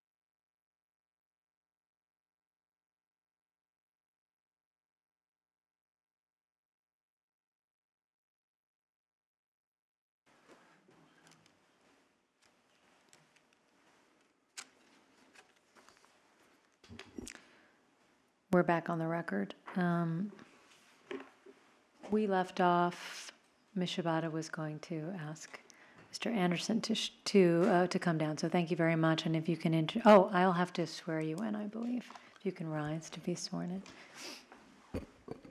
Please raise your right hand. Do you promise to tell the truth, the whole truth, nothing but the truth, so help you God? I do. Thank you, Ms. Honeysucker. Uh, So I'm, I'm calling Mr. John Anderson uh, to testify. Uh, Mr. Anderson, can you please state and spell your name for the record? My name is John, J-O-H-N, Anderson, A-N-D-E-R-S-O-N. Uh, And what is your position here at the district? My position is air quality analysis and compliance supervisor. And you just took the oath a moment ago. I did. Okay, so um, we're going to kind of follow up on some of the questions regarding um, uh, odor complaints and and enforcement action. So uh, to start off, um, are you familiar with the variance proceedings that have been happening over the course of the past week with Sunshine Canyon? I am aware that they've been taking place, but I've not been following closely. Okay. Um, Are you aware of whether or not the district has received any verified odor complaints since the outbreak of the Saddle Ridge Fire? I am. Uh, And how many uh, verified complaints has the district received, if you can estimate? I can count them here. I believe the fire took place on, was it the 16th? 11th. 11th. Okay, I'm sorry, I'll have to uh, count my data here, so. That's okay.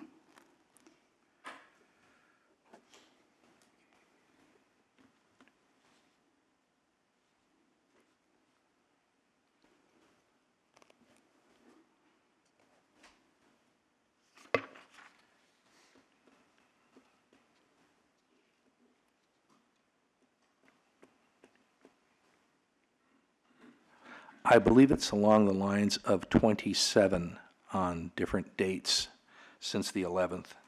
Ver- 27 verified? 27 verified from what I can see from my data right here. Um, I would have to have a conference with uh, Inspector Larry Israel to verify, or to confirm that.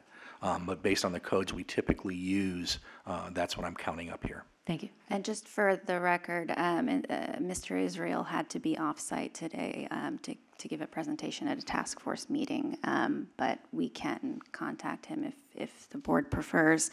Um, But if I can, um, if I can ask a couple of additional questions.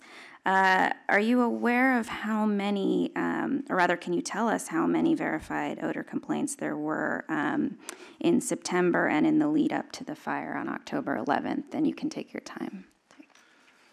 Well, I can tell you that there were a total of 95 odor complaints in September, but again, uh, if you'll indulge me, I'll have to count.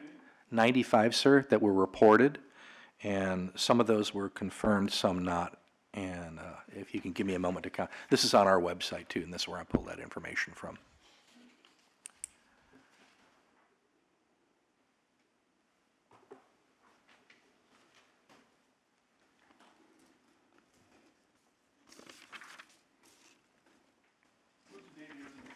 I'm, I'm sorry, sir.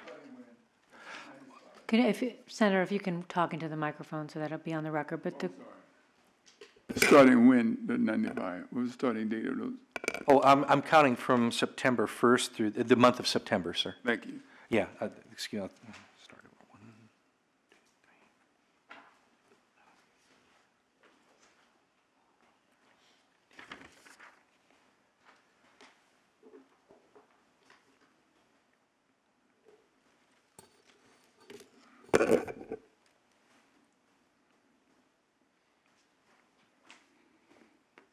I count 28 verified on different dates for the month of September 2019. So I know it may be uh, difficult to, um, to calculate, and I, I don't need any precise number, but um, can you kind of talk us through what the different odors were that were detected in these verified complaints? Uh, Let's say post-October 11th for now. Oh, post-October 11th, I'm, I'm afraid I don't have Oh, that sorry, information. sorry, But I pre- can tell you that um, from my conversation with Inspector Israel this morning, um, this Saturday, he did verify nine odor complaints in the morning, and they were trash. And the pattern that typically we see is in the mornings, usually it's going to be a trash odor, and then in the evening, um, when there's no uh, trash being deposited, if you're smelling an odor, it's generally going to be a landfill gas odor. That's been the pattern.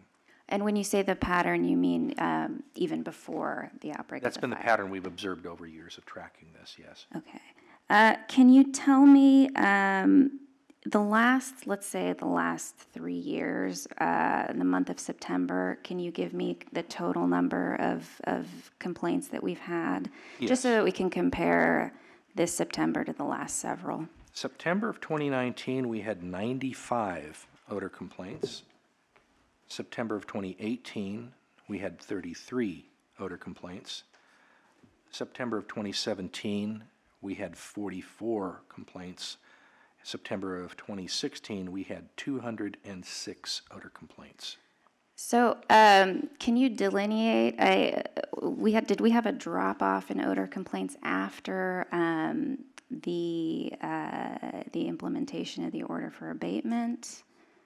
Yes. Okay. Uh, Can I ask, with respect to um, the recently uh, received verified complaints, has any enforcement action been taken? Enforcement action is pending for this Saturday. I believe a notice was issued for September the 13th. Okay. Wait, I'm sorry, can you say that again? Because you didn't say that into the microphone. I'm sorry. One moment. I'm sorry. Go ahead, if you can Uh, repeat that. enf- Enforcement action is pending for this past Saturday, where nine odor complaints were verified. And you mean pending, an NOV is pending? An NOV is pending, correct. Okay. Senator had a question. if he has a report that he's reading from, could he submit it to them, a copy of it to us? Probably not, that's, oh, could you? Yeah, wait, wait. What I'm reading from, Wait, sir, is, oh, I'm, s- no, I'm sorry, Senator, hold on. You're let- Reading from a report? uh, yes, I'm reading for what's on our website. Well, Fine, I'd like to have a copy of it. I think we do. Um, For September, we do. It was submitted uh, with the public, uh, let me find out what the number was. It was public exhibit, sorry? Exhibit P nine to the uh, interim hearing. It was P9 to the interim hearing. Mr. Wade Hunter submitted that. Um, Here we go. Okay. Uh, If you'd like to take a look, here it is. Would you like to see it? Do you want to pass that down? Thank you Okay. very much. Okay, so we left off, okay, so pending is nine complaints this past Saturday, and. that were verified, Okay. and those were trash odors. They were in the morning. And I, I could have to count that were, the number that were verified for Friday, September 13th, but the pattern there was there were trash odors verified in the morning, and in the evening, there were landfill gas odors verified. If you like, I can count them if that's You're saying of the nine, some of them were in the morning and I- some? I'm, I'm sorry, that, we're talking two different dates here. I'm The- sorry. The nine was actually this past Saturday, and I believe I was asked for enforcement actions prior to that, but since the uh, order, and that was September the 13th, Friday the 13th. And that one, I, if you like, I can count the number up and tell you which is which here, if, if there's value to that. You could. Um, it- Again, this is not an order for abatement hearing with, with nuisance, but it, it is rel, Okay? it's relevant to the overall context, uh, and certainly relevant to the public.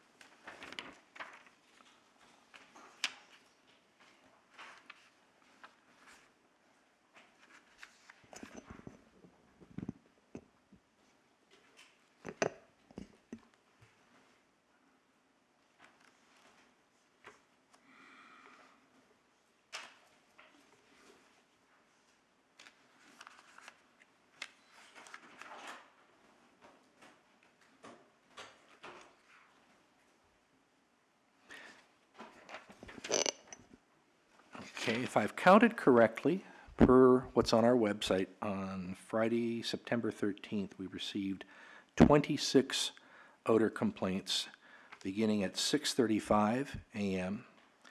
The last one received at 11:12 p.m. And of those, 10 of them were trash odors, the last of which was verified at 9:50 a.m. And beginning at 10:01 through 10:49 p.m., there were three that were landfill gas odors that were verified. And just to clarify, um, the September 13th complaints, did those result in an NOV? Yes, Uh, And again, that was before the outbreak of the Saddle Ridge Fire? that's correct. And the pending NOV that you mentioned, uh, was that after the outbreak of the Saddle Ridge Fire Yes, that's correct. on October, uh, this past Saturday, which would have been October 26th? Okay. Um, That's, those are all the questions uh, I have, but again, I open it up to Mr. Bruin and the board.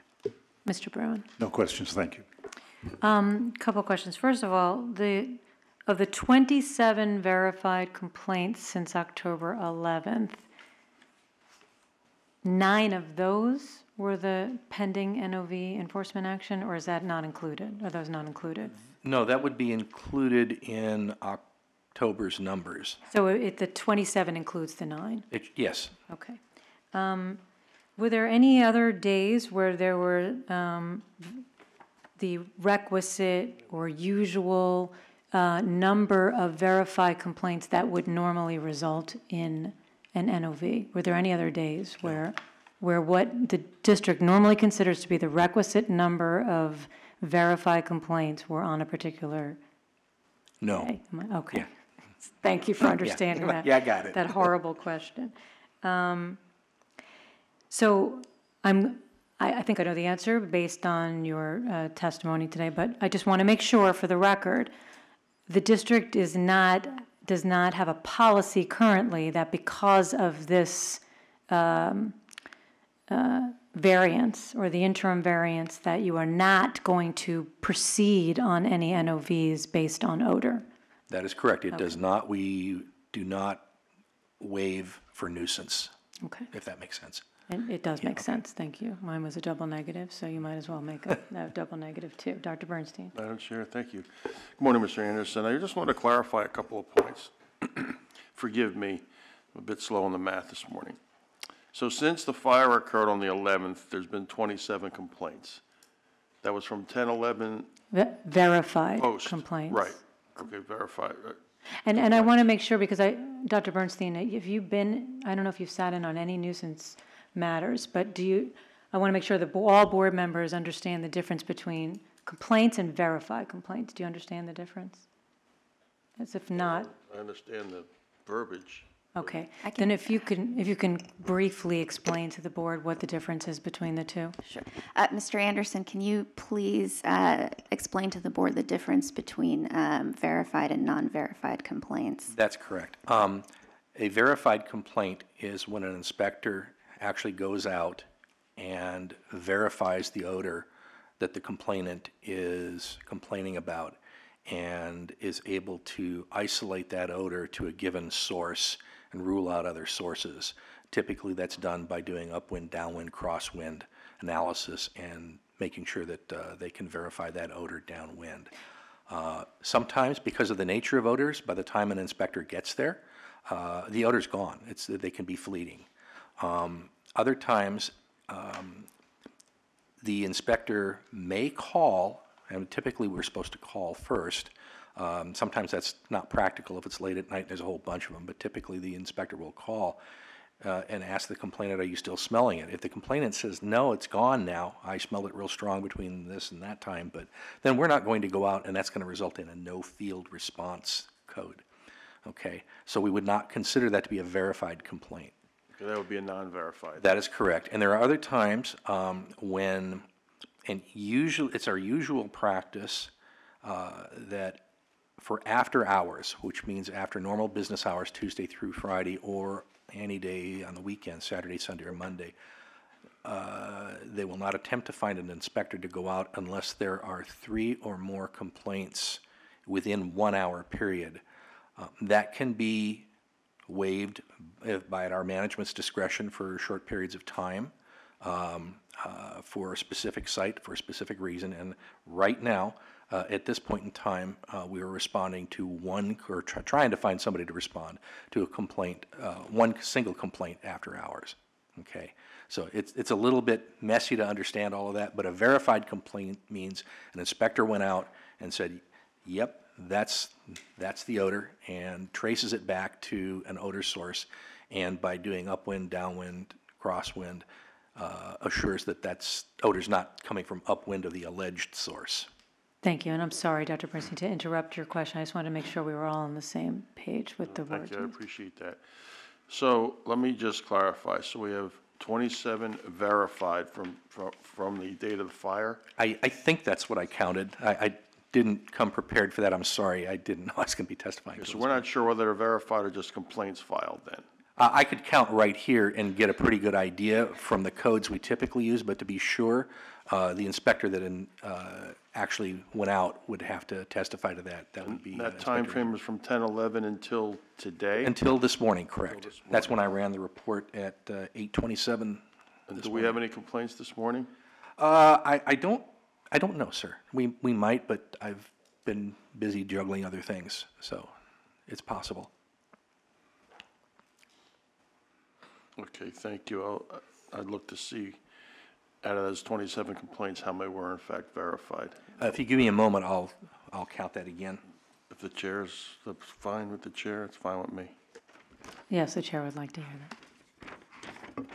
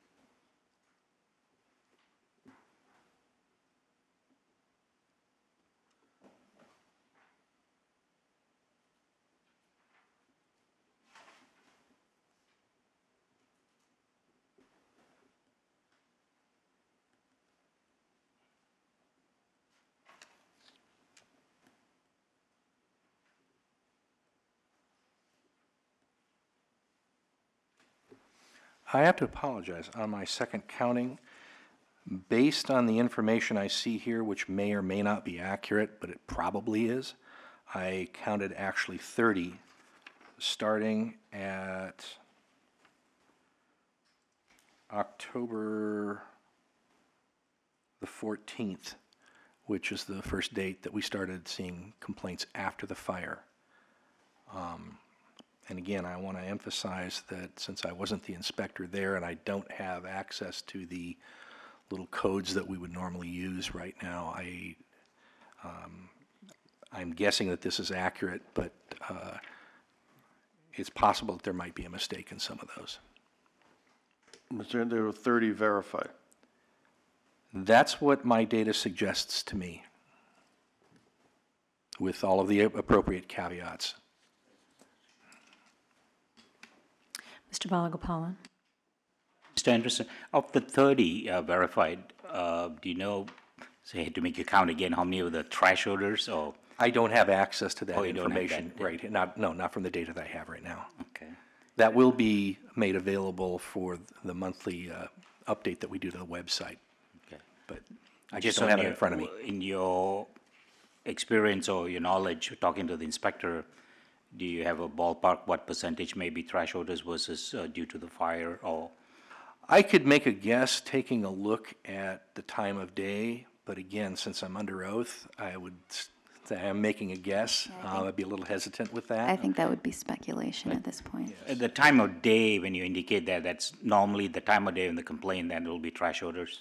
Not always, but normally. Normally, And I don't know what the spread is. It's just that having been a backup inspector for that area myself, so I've been up there plenty of times, and then also just overseeing it. um, The majority of them will be trash odors in the morning. Not always, though. A- a- have you had an opportunity to go out there after the fire? No, I have not, not, at- not since the fire. And I think some of the uh, complaints we got, uh, or in the written complaints the last time and today, is also concern about airborne dust and ash from the fire. Do you, have you talked to the inspector? Has he mentioned anything about that, or if they're doing anything? I haven't pursued that. Uh, I think I did see some complaints, I don't know how many, but it wasn't very many, that did reference dust. Um, Some might have even referenced, you know, material flying through plastic bags or something like that, but those typically, I think, would be under the jurisdiction, not dust, but plastic bags, under the jurisdiction of the local enforcement agency, the LEA. And if there's dust and uh, fly ash, in your opinion, uh, what is that they can do to minimize, suppress it? Water is not ideal to, I'm assuming, to put on a landfill, and Well, water is what I'm familiar with. Um, If there are other dust suppression uh, uh, techniques um, that, uh, sometimes they, they can put tackifiers or other things like that, but that's, uh, that might be better answered by another witness. I am aware also that uh, in addition to odors, misting systems uh, can be effective in helping to mitigate dust crossing a property line. Uh, Madam Chair, I'm a little concerned we're wandering off path here because obviously dust and, and smoke and ashes could be caused by the wildfire and not necessarily attributed to the fire that uh, influenced the landfill.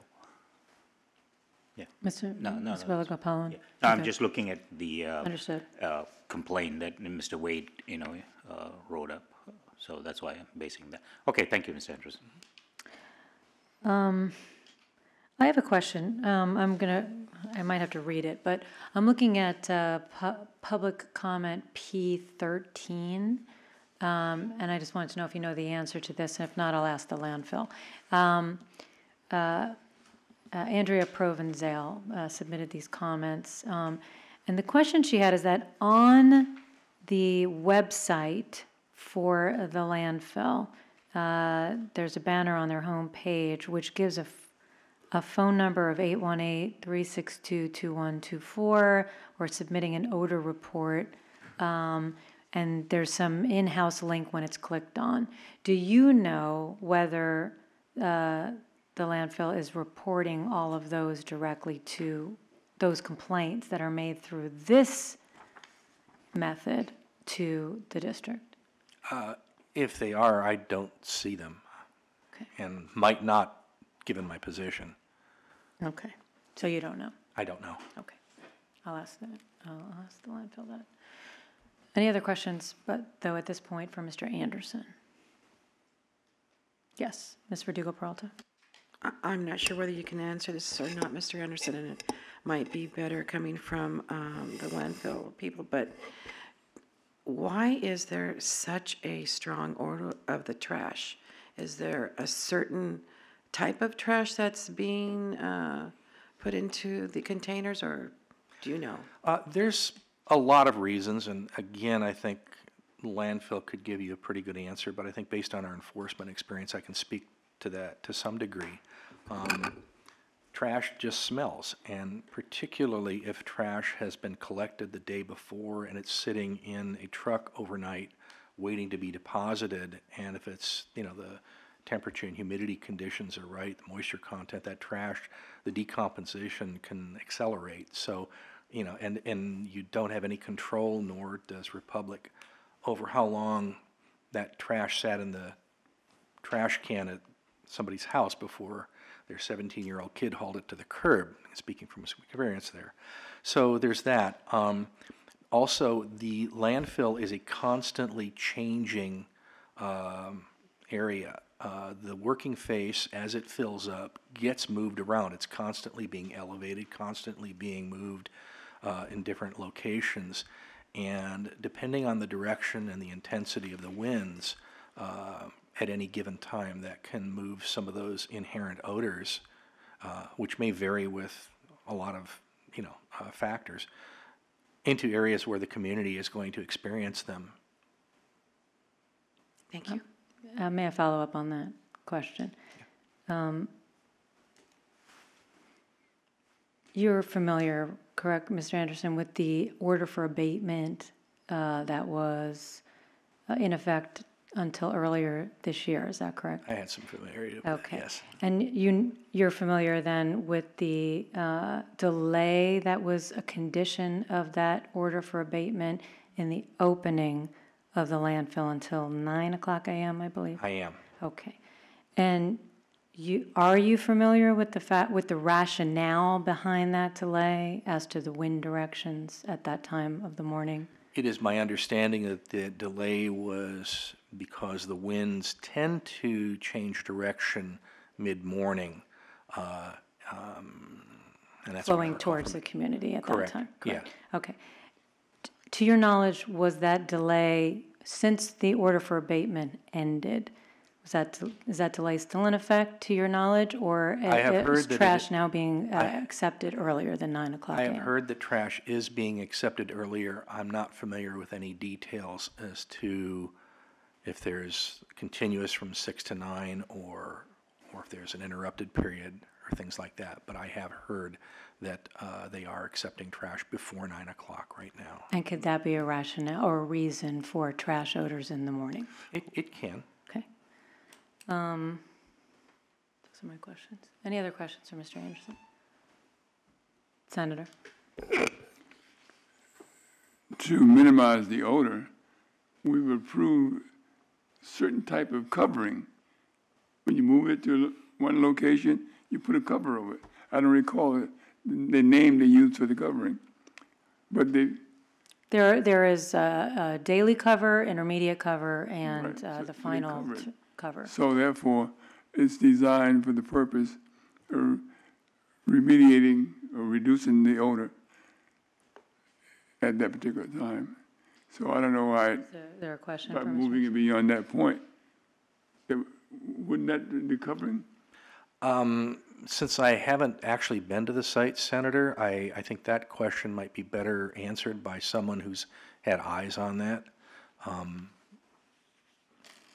I will say that there's got to be some lag in time from the time the trash is tipped onto the landfill until they can actually access it to cover it, because they're, they're moving across it, compacting it, um, and working on that land face, uh, landfill face at that time. But that's about as far as I'm comfortable commenting. I just can't recall the detail of the sp- specifics, but I think the covering was almost simultaneously or at the same time, which reduced the odor. I think so. If you want to I, respond to that, I, I don't fine. want, I don't want us testifying, I don't want us adding testimony. Again, that, that was information that we received in an order for abatement hearing, uh, separate from this. So if there's questions that Mr. Anderson can answer, we can ask those questions. Well, he But- mentioned that uh, that would probably contribute to the question where moving the trash around caused the odor. And I'm just saying, if he's aware there's a covering, then he understands that the cover would re- minimize that. Maybe he doesn't. Is it, was, it- was it your testimony moving the, the trash around or moving the f- working The, face? the working face Talking about moves the around, working as I face, which is understand it. different. Right, because as one area gets filled up, then it's covered and they'll move on to another area. The details of that, I'm, I'm really not close to. That has more to do with landfill operation. I'll have to review it, but I think they cover it. Uh, Yes, Mr. Balagopalan. Mr. Anderson, have you looked at Sunshine Canyon, uh, their website? Uh, do you know, and follow-up is that, do you know somewhere it's put the eight hundred, uh, one eight hundred cut smog information to call in? Actually, I have not looked at their website recently, sir. Okay. Uh, How, how do the community members know, I mean, historically, they, uh, they know, uh, but uh, how do they get the information where, where, who- whom to call? Well, that's, again, that's on our website, but there's a lot of communication with the community, and I would think that that question might be better answered by members of the community as to how they uh, communicate amongst themselves. Okay, thanks. Any other question for Mr. Anderson? Okay, thank you, Mr. Anderson, for coming down. Um, I did have que- uh, two questions, if we could. uh, Let me ask, Ms. Ms. Honey Zavra, is that all of your witnesses? Uh, Those are all the district's witnesses. Thank you. Then I'd like to um, just ask, I had two more questions for Mr. Mills or whoever wanted to answer it from, um, for Sunshine Canyon. Um, The question was the question that I, first that I was asking based on, I don't know if you have in front of you, um, the public exhibit P13, from Ms. Provenzale. Um, There is the, uh, the link and the phone number on uh, the website for the landfill, and the question I asked was, um, are there any, are any complaints you receive by either, by any method that you have listed on your um, website, are those reported to the uh, district? I am not aware of any complaints that we've received from the public through um, the website. Okay, and if you do receive complaints from the public, what is the plan for the landfill? How did you, what would you do with those complaints? We would definitely follow up on that complaint. We would contact the complainant, um, try and ascertain what they were smelling and at what time, so then we could um, respond and, and go out and try and track down the source of that potential odor so we could make the appropriate adjustments. Do, would it be your plan to report those to the district?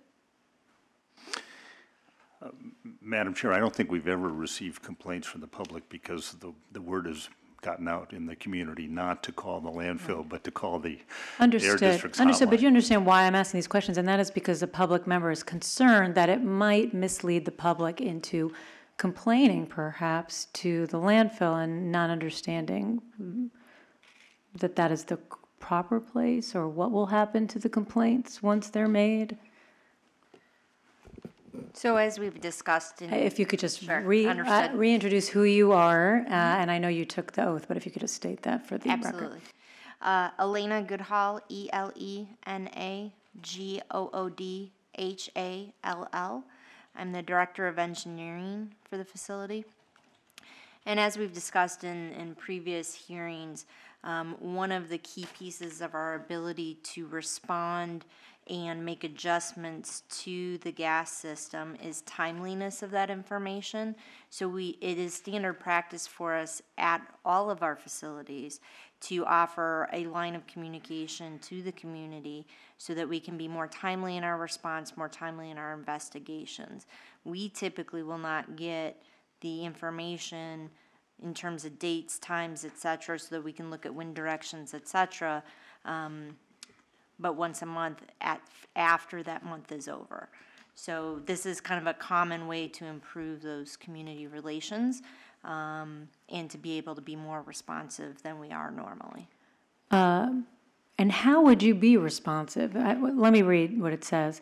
Damaged infrastructure and associated repair projects following the Saddle Ridge fire have the potential to contribute to off-site odor. To report a landfill odor, call us at that number, that 818 number, or submit an odor report, which I understand has a link to the, to your uh, landfill staff.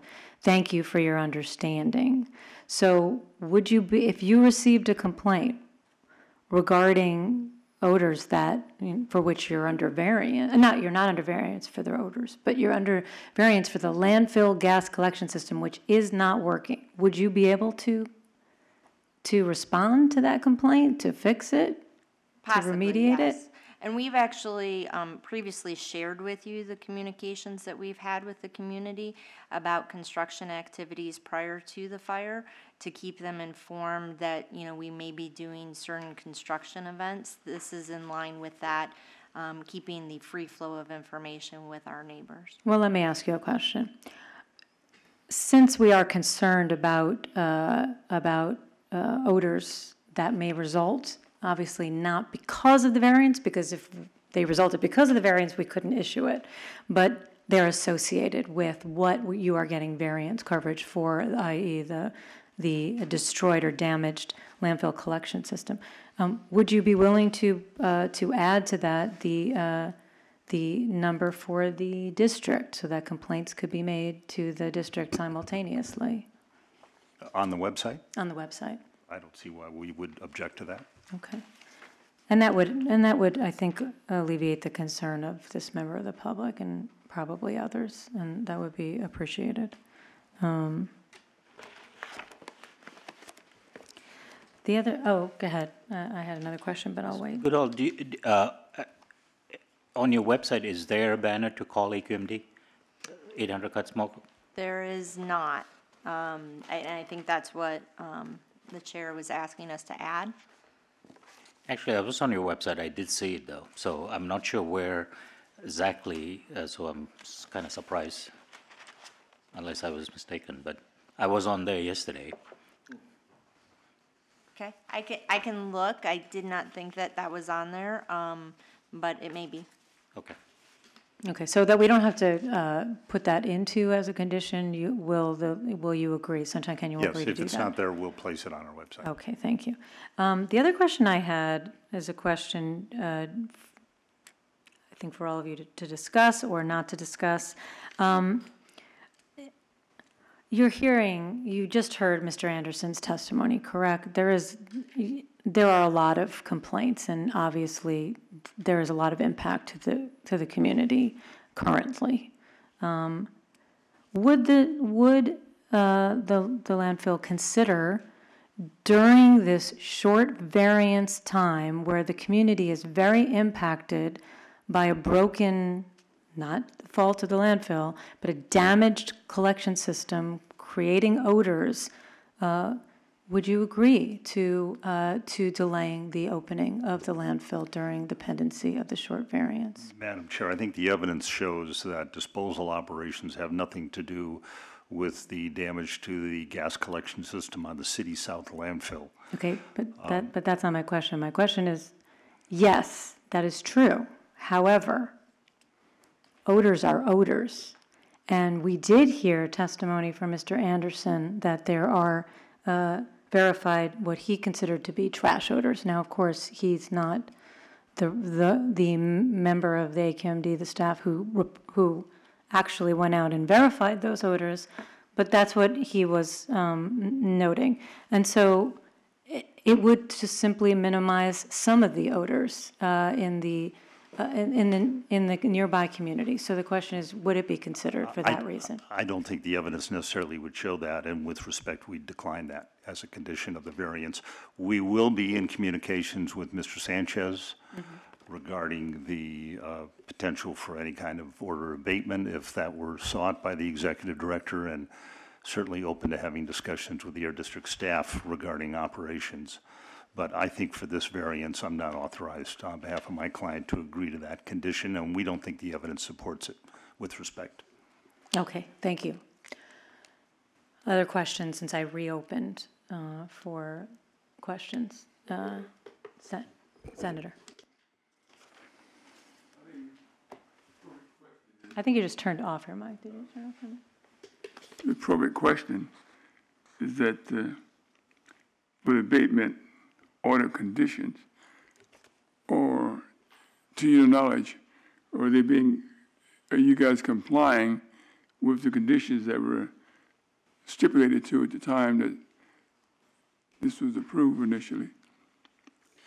I think you're confusing. Are, are are you asking about the order for abatement conditions, Yeah, which are no longer abatement. in effect? Because this is a variance, so, I understand, but the fact of the matter is that some of the community complaints is that they were having odor problems even prior to the fire. right. And I want to remind the board that while we did open up for questions regarding odor complaints, that was to address issues from the public and the overall context of what's going on in this community. However, for the variance that is being requested, the odor complaints are, uh, are not relevant unless the variance were causing odor, were causing nuisance conditions, uh, The which odor then it's complaints not. is not uh, uh, properly, appropriately before us today. Technically. Um, However, uh, they are important to the overall context of what's being done in this community. Well, if they don't apply, if they do apply in some way, then they, they are to be discussed. Is that not correct? Yeah, uh, did you have a question? Your question was No, I'm just convoluted, asking that's you, why is I that, is asked. that correct? I I don't, I don't know what the context is you're asking. I, I will say this, I'm going to read it because I, I I would read it during deliberations, but the pro, the, the issues we're receiving a lot of, uh, of uh, rightfully so, uh, uh, comments from the public regarding odors. Um, I wanted to be clear that under the Health and Safety Code 42353, we cannot, we can prescribe requirements other than those that are imposed by statute or, or rule, but not more onerous than those that are required. So we cannot, uh, that's why I asked Mr. Bruin, that's why I asked Sunshine Canyon, would they be willing to, uh, to delay the opening? That is not something we can do as part of a variance. And he said no. That is correct because they don't believe it's supported. Okay. Apparently not. But did you have any, que- any I'm just saying, looking at the uh, ADA and ICE and all that stuff, apparently not. That came prior there too. Okay, no further questions. Any other questions for either Mr., Ms. Goodhall or Mr. Mills? Okay. Thank you. Okay, so no other uh, witnesses on either side? Okay, then we will take um, public witnesses. We have two. Um, We have uh, Mr. Mike Mohajer. We'll call you first. um, And Mr. Mike Mohajer is speaking uh, on behalf of himself, and so will receive three minutes. And then Mr. Wayde Hunter, who is speaking on behalf of the North Valley Coalition of Concerned Citizens, and so will then receive five minutes. Um, And I believe, Mr. Mohajer, you may recall to come and turn on the microphone, state and spell your name for the record, and let us know that you took the oath today. Good morning, Madam Chairs, member of the board. My name is Mike Mohajer, spelled M-I-K-E-M-O-H-A-J-E-R. I'm a private citizen. I do not represent any public or governmental agencies. Um, My uh, questions are very limited, but uh, I was trying to understand this uh, proposed short variance, and I was reading the condition number five, which read, petitioner shall minimize the release of landfill gas to the maximum extent possible. With that said, I do know that Republic operates some of their landfills seven days a week. And based on what I heard last week, uh, that uh, as far as the repair work is concerned, it is only, they're doing, conducting the work six days a week. So in order to expedite the process and complete the repair work, I would suggest that they operate seven days a week. There may be some requirement that they have to apply from some regulatory agency to work on s- Sundays. But that is very possible, and being in the field, I know that is possible to get that variance. And it would be really helpful to the community if they operate seven days a week rather than six days a week. Now, that's one item. The, the second item, I'm, when I was sitting the first thing this morning, the, this short variance must have a deadline, even though I understood you said it's 90 days from October 15 or October 13, whatever the date was. And then there is, a, if they cannot meet that deadline, then they have to go to variance, which requires 30 days public notice, if I understood you correctly. With that said, and in order to be proactive, and you raise the issue if they, and you require them to, if they think that they cannot meet that 90 days, let them know. So maybe in, in- as a part of the conditions, you would specify that by December 10th or December 11th of 2019, they would advise the hearing board whether the deadline of January 15 or January 13, I don't know, the 90 days, the starting day. So in other words, what I worked, I worked 30 days backward to December and gave the staff few days to prepare the paperwork and go from there. And that is my, another suggestion. Thank you. Other than that, I want to thank Republic for all they're doing. And, and it is not an easy job. Thank you. Thank you, Mr. Mohajer. Um, Wait, uh, there might be questions, Mr. Mohajer. Um, First, Mr. Bruin, do you have any questions for Mr. Mohajer? No questions, thank you. Uh, Ms. Hani Zavra? Uh, no questions, thank you. Mr. Balagopalan has a question.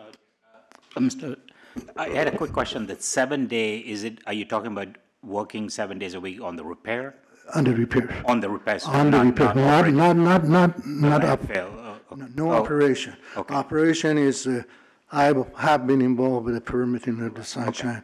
No, just the uh, repair of the damages caused by this fire. Okay, thank you. Very limited. Any other questions for Mr. Mohajer? Um, And Mr. Mohajer brings up a very good point, by the way. It is 30 days published notice for a regular variance, but it takes the clerk's office, I think, up to 45 days to execute that notice. And so we're going to have to know that very But soon, Lord, that doesn't leave Thank you for that that many information. Very soon. Thank you, Mr. Mohajer, very much for coming down to support your community. Um, Mr. Hunter? I'm sorry? I said my community is San Dimas. Okay.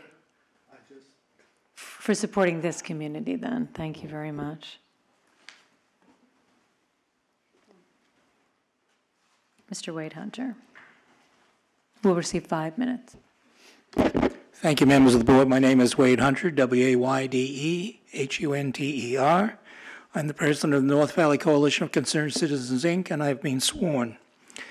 Uh, I'd like to talk to you uh, again, uh, uh, P14 this time. Um, Ms. Prusak had commented that she uh, expected more public participation at this hearing since it had been uh, noticed with a regular notification period. However, the public has observed via the webcast and has heard from from other organizations like ours that the variance will be granted and that their odor comments are not entering into the consideration for the easing of impacts on the community.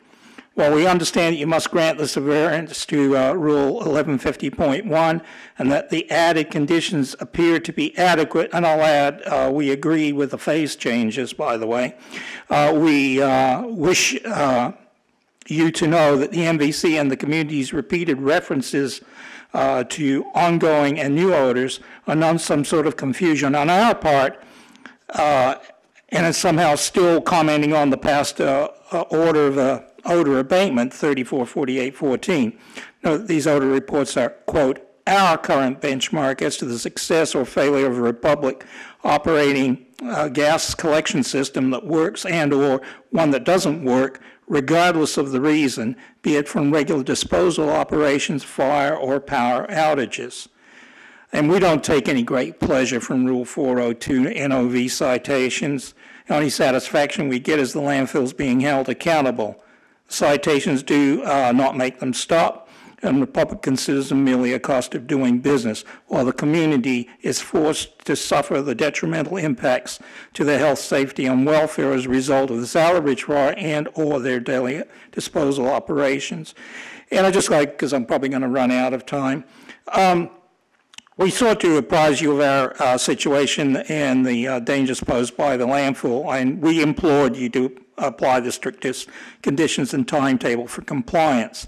And we also uh, talked to you about uh, reducing the cumulative impacts, okay? And what we suggest was stopping the early morning opening, which would uh, limit some of the odor impacts now reported.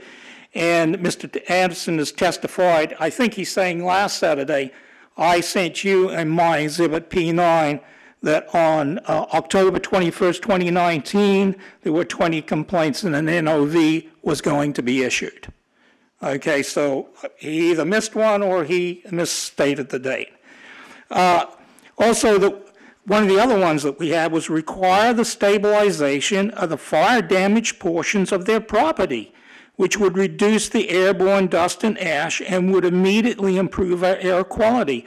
And neither of these suggestions, at least up until now, uh, weren't discussed uh, during your previous deliberations. You've talked about one of them. The other one that we have is let them go out. Hey, it's fire damage. Let them go stabilize. They can put lignite on it. They can do all kinds of things and fix that surface because combined with everything, with the ash, with the dust, with the odors coming out of their system that's no longer collecting the gas, with their daily operations, Okay, and by the way, daily operations contribute a lot. They can dust, dust, odor, all kinds of things that we can get from it. We have thousands of trucks coming every day, or trip ends every day, that are all messing up our air, and it's all coming down on us when we understand that, yeah, they're not responsible for this. So when we made some suggestions, we said, you know what, there's a couple of things under their control that they could do. And that's all we suggested to you. Hey, if they did that, they at least could reduce it a little bit. So anyway, that's basically not what I said, what I submitted to you.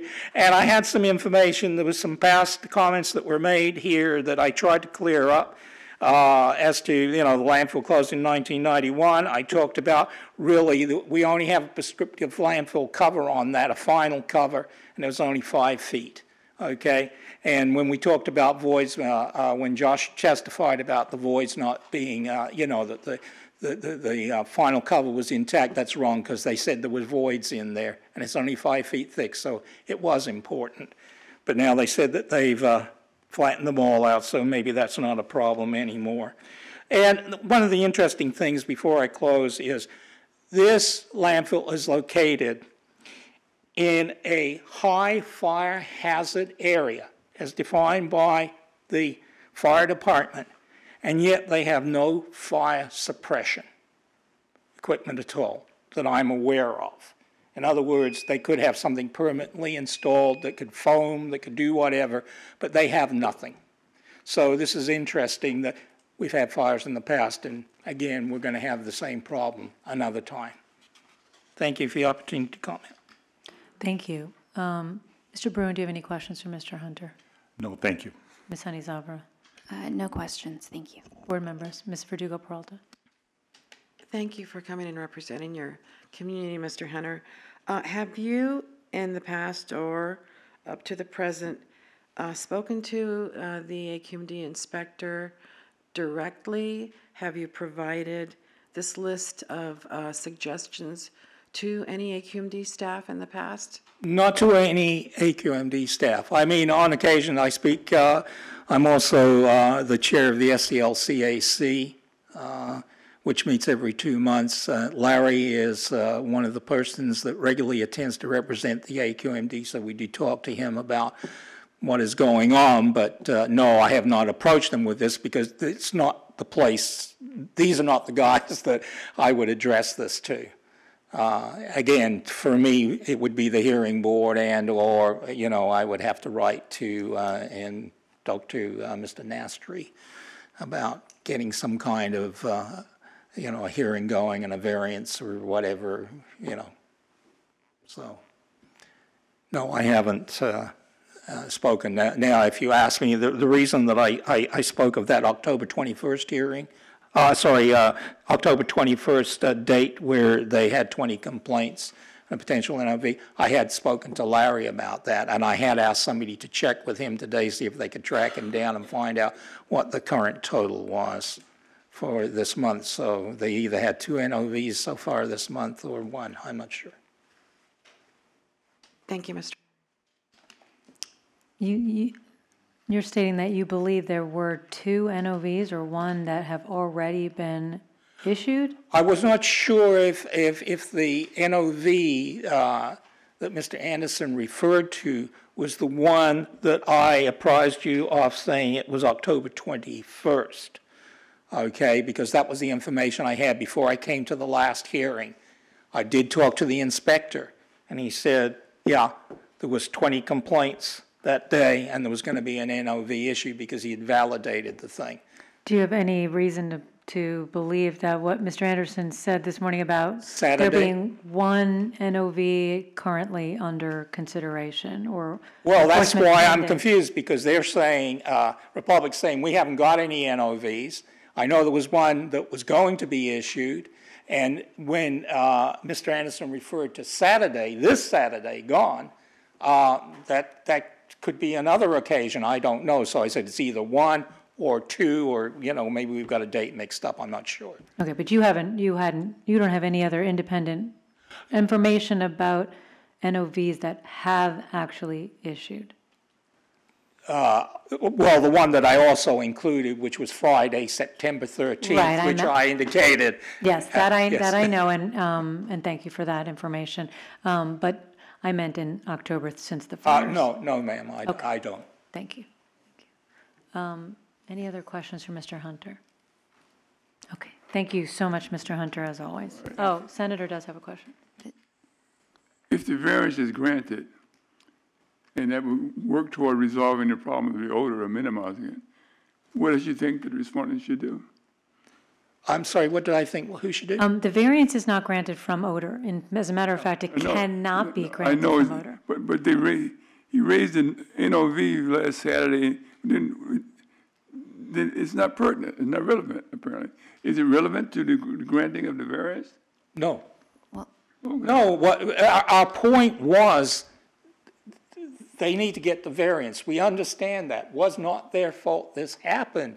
But what we're trying to tell you is issuing NOVs doesn't mean anything to us. We don't get any joy from it. It doesn't stop anything. They continue. It, it doesn't mean anything. And it, uh, but we raised the issue because there was something at least that was under their control, which was an early morning opening, which has been generating trash odors, that if they stopped, at least it would ease it a little bit. And oh, by the way, if they were to put some kind of fixative on their property and do things like that, they could help reduce what's coming down. It's not their stuff, but at least it would help better our air, all the while that they're basically polluting the heck out of us. Are you, So- are you suggesting they close the landfill while they make the repairs?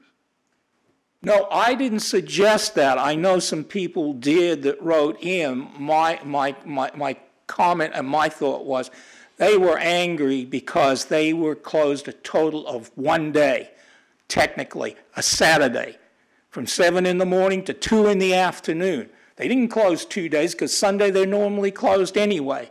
Okay, but they were open bright and early Monday morning taking trash, and we could, their houses stunk, okay, of smoke. We had ash still coming down, dust, everything, and these guys couldn't even wait a lousy few days to turn around and put that landfill back in. And we were expected to suffer. And, and that was why the, the community was angry. And that's, again, our only benchmark is we're sitting down there, and if they're doing a good job, and, and I gave you the other, the other months where they were doing a good job, the elders were down, you know, maybe five or six a month, they were doing a good job, everything fine, and then it went to hell in a handbasket. In September, why? Because they started doing an early morning opening, okay, which is limited, and I put limited on there. That was one thing that they could have done. And, and then, and then we had this fire, and the, and the odor have gone up. So, you know, we, we were just asking for relief from you while you were doing this, that maybe you could keep this, and maybe they would agree to do something extra. The time of closing is coming and gone. What should we do going forward? You're asking, I'm sorry, what was the question? What did you say? What the should we do going forward? But what was the first The part? time of of closing, when the first fi- the fire happened, is coming and gone. it? Time of closing? Yeah, he want, they oh. suggested that it be. say the landfill closed. No, I was trying to explain the people's anger at, at what had occurred. They sent out notices telling us, we're going to work with all the agencies, which they didn't, and I, and I pointed that out. And they were open bright and early on the Monday, back in business again. Hey, you're getting the money. We, we understand that. So the So- question is, what, what do you- But, but closing, and there was a fire that I noted, not a big fire, but on the 24th, they were getting spot fires around the landfill. And we had said, hey, geez, guys, you know, uh, we see, we see that in the public comments. So Thank you. I, I thank the board, and I'm sorry, and I belabor the point about the way that we feel. We just wanted you to know that, that they could do more, and they need to do it as fast as possible. Thank you. Thank you. Uh, Were there any other questions for, okay, Mr. Hunter. Thank you, Mr. Hunter, again.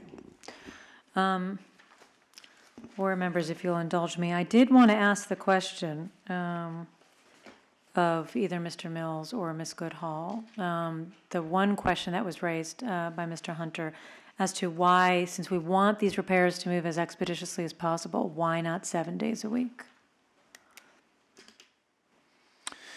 So, w- I, I apologize. I was raised by Mr. Mohajer, but regardless. No problem. Um, I can tell you that we have been working with the local enforcement agency since uh, the hours of operation are under their jurisdiction. And um, the past couple Saturdays, we have been um, conducting repairs or welding pipe together.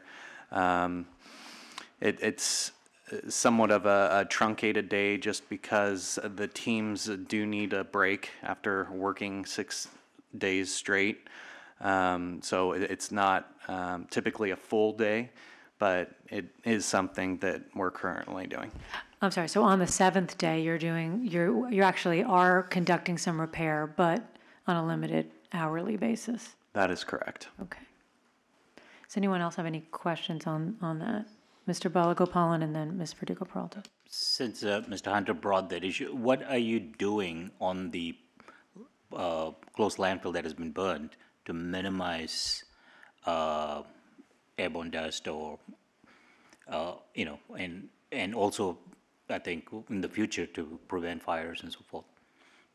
Sure. Um, so on the closed portion of the landfill, of course, we continue to use water trucks to abate dust from any construction activities or uh, potentially high winds that might um, kick up dust. And uh, going forward, uh, as part of our winterization and revegetation plan, uh, the plan is to revegetate those slopes um, in some manner with uh, typically hydro seed. Um, as well as um, perform the necessary repairs to any of the sage veg- vegetation that was burned in the fire. And as far as being proactive in uh, fi- fighting fires, uh, are there any plans? We are proactive in fighting fires, and actually, um, this this past fire, the Saddle Ridge fire, we coordinated closely with the fire department. Um, our controls were in place. We do have fire breaks cut in around the perimeter of the landfill. Um, we also maintain low-lying vegetation. Um, and we do have fire hydrants uh, charged on site, uh, as well as helipads with um, associated, um, um, lost my train of thought. Uh, We supply water to the fire department via those um, helipads. A- And your personnel are not trained to fight fires, right? And you depend on the fire department to do that for you? Yes, absolutely. Um, but we are there to assist with our water trucks. Obviously, we're not going to put any of our personnel or contractors uh, in unsafe conditions. Um, but if, if something arises and we can handle it, um, we'll try to extinguish it ourselves. Okay, so when they, I think a couple of spot fires, who handled that, uh, spot fires?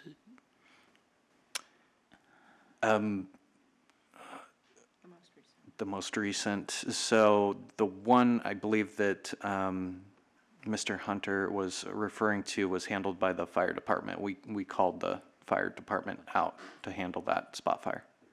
Thank you. Yeah. Ms. Verdugo Peralta. Thank you, Madam Chair. Along that line, so you don't have a dedicated team or anybody on your staff with any fire science uh, qualifications, is that correct? That is correct. Okay, do you have any plans to have a dedicated team or even one or two personnel with that type of background? Not with that specific background. Uh, Again, um, we do have resources to assist. Uh, We do have water truck drivers um, that are able to extinguish fires, but they don't have that type of schooling background. My other question goes to uh, what uh, Mr. Hunter brought up in reference to covering the um, existing materials that are causing the odors that he's describing. Are there any plans to expand, enlarge the areas that are covered presently, which it appears to be not that much as far as the community is concerned? I- I'm unclear. Are you talking about the disposal area of the landfill? I'm just, I'm talking about the area that Mr. Hunter was describing. I'm not sure what area that refers to. I'm not either. And What part of his uh, When he was talking about the, that, wa- you want to speak to? No, that? uh, Can we uh, ask him? Because I, he was talking about that there was only five feet that was covered, and I want to know what area that was, and can that be expanded? Are you referring to his written comments? His testimony just a few minutes ago, he talked about there was only five feet of cover, or was that the, oth- I think it was Could be, him. i- i- if there was a reference to five feet, it might be to the amount of soil cover on the closed city south landfill. So That's correct, if the question is, are we planning to add to that? yes. Uh, no, we are not planning to add to that final cover. Is there a possibility that it can be done, or is it an impossibility? What, So- is- what's the, So for Outlook. clarity, that five feet is a thickness of soil as opposed to a lateral extent of soil. So there's a five-foot thick final cover soil cap in place. Okay, so in reference to the comments that the public has made, are there any plans to improve the situation so that the public is not as impacted as they are presently? We, we believe that the best way to improve the current situation is to implement this replacement plan a- as soon as feasible, as soon as possible. Thank you. Any other questions before we close? Ms. Honey Zabra? Uh, We, the district uh, can clarify the um, October 21st date that uh, Mr. Hunter was referencing. Um, If I can just reintroduce Mr. Anderson. We would appreciate that. Okay. Uh, Mr. Anderson, you heard Mr. Hunter uh, uh, testify regarding a, um, a potential NOV or an NOV issued on October 21st. Um, Can you verify or, or discuss what it is that he was uh, referring to? Mr. Hunter is correct. Apologies to everyone here. I read from the wrong column, and I've since confirmed by reading from the correct column and also double-checking with my staff via text message. Uh, There were 20 complaints on the 21st. There were 20 complaints on the 21st, and I am not aware if the notice of violation has been issued yet, but if not, it's pending. Again, apologies. So that's okay. I pulled you down here last minute. Um, So that would be two potentially pending NOVs, just to clarify, on two separate dates post-fire? That is correct. Okay, thank you. Thank you very much for that clarification. And we, and we appreciate, and we understand that you were not prepared to testify today, so we understand. Best I could do for a buzzer shot.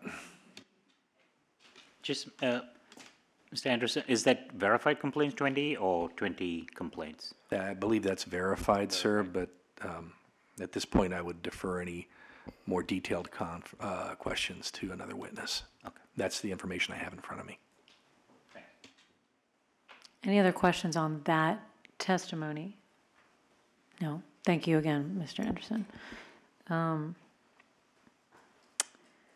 Okay, um, then we'll start with closings, please. Uh, Mr. Bruin, your closing. Thank you, Madam Chair, members of the hearing board. Um, I'm not going to discuss the health and safety code uh, uh, standards or conditions for granting a variance. I did that at the last hearing, and that testimony and evidence has, uh, has been incorporated into this proceeding. So I won't belabor that unless the hearing board wants me to discuss those conditions um, or requirements. I believe we've satisfied all of the requirements for a uh, short variance as we did for the uh, interim variance. Um, I did want to just quickly comment, there's been some testimony today about odors. We've not come here to rebut claims about odors or to talk about NOVs or construction conditions that might have caused a spike in odors during a particular period of time. That kind of testimony is appropriate for an abatement proceeding. So I, I just want to, in the interests of my client, and to be fair to them, to note that we haven't explained odors today because we didn't believe that is or is relevant to this proceeding. Uh, At an appropriate time, we'd be happy to do that. We believe there are good explanations for any spikes in odors in September related to a single construction event, which we could describe at some length, but again, that's not the purpose of this hearing. So I would ask that you reserve judgment on the question of whether there is anything having to do with landfill operations that is a cause of odors in the community. And I think if you look overall at the site's uh, record uh, prior to September, putting September aside and the fire, it's actually an excellent record. So with that said, um, there are a couple of housekeeping matters I'd like to touch on having to do with conditions that were discussed with the board. And I have um, uh, showed these to counsel for the Air District, and I'd like to read them for the record. If, if, if I may, um, perhaps counsel for the Air District could read over my shoulder to make sure I've got it right. Um, So uh, what we've discussed is uh, that there would be a termination date of January 12th. That would be an outside termination date with an earlier termination date potential if we finish all the repairs and get the City South landfill under negative pressure uh, prior to that date, which we are obviously hope we'll be able to do. So I would propose the following change in what's now condition 28. It will be renumbered, I think, to 29 with the new condition 24 that we've already agreed to. And that condition would read, this variance will terminate on the earlier of A, petitioner notifying SCAQMD by email that operation of all equipment with utility power restored for which this variance has been granted has been fully restored and the City South landfill, well field, restored to negative pressure or January 12, 2020. So it would be the earlier of those two events. 2020? Yeah. January 12th, That struck me too. no, I wrote 2019, uh, Senator, when I first wrote this and realized that wasn't going to work. So there's, th- so that is one condition that we would propose in terms of the termination date. And then um, there was a discussion about uh, a request that we add a condition regarding Southern California Edison. So this is what we drafted for the board's consideration. Petitioner will use best efforts to facilitate Southern California Edison restoring utility power to the site as soon as practical and shall report by email to the SCAQMD that such power has been restored. And that's the other proposed condition.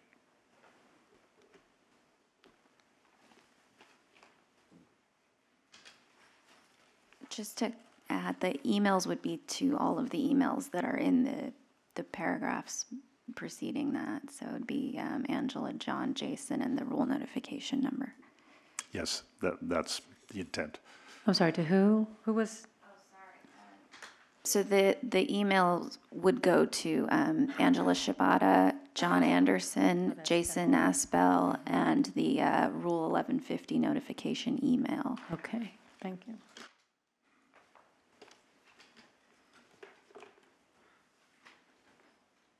And does that complete your closing, Mr. Bruin, or did you have more? Uh, My client passed me a question, uh, which I might as well answer on the record, which is what happens if we don't have power, but the well field is negative? Um, it- When I crafted this language, I indicated that uh, utility power had to be restored, as, as well as the equipment fully functioning, because if we don't have utility power, then we'd still need a variance for the generators. Although it is my thought that the generator variance will only be granted through the end of the year, and so that this, uh, this uh, provision will only, this condition will only apply to the landfill gas collection system repair, because uh, as with all other generator variances we grant, at the beginning of the year, the 200 hours resets, and you do not need a variance any longer. So in other words, we'd have to b- go beyond 200 hours starting on January 1st to need a further variance for the generator. That is correct, and others have come before us and petitioned in advance preemptively for that type of relief, and we have denied it. All right. Uh, We need to have an understanding of, of, of that we are very close to the 200 hours. All right, okay, thank you. That's helpful. And I think the, the restriction on the perp engine is still there, notwithstanding the variance, because it's not addressed on the 60 days. Understood, thank you. Ms. Verdugo Peralta? Thank you, Madam Chair. Does it make sense to add to number 30 after that power is restored, or if there are any delays?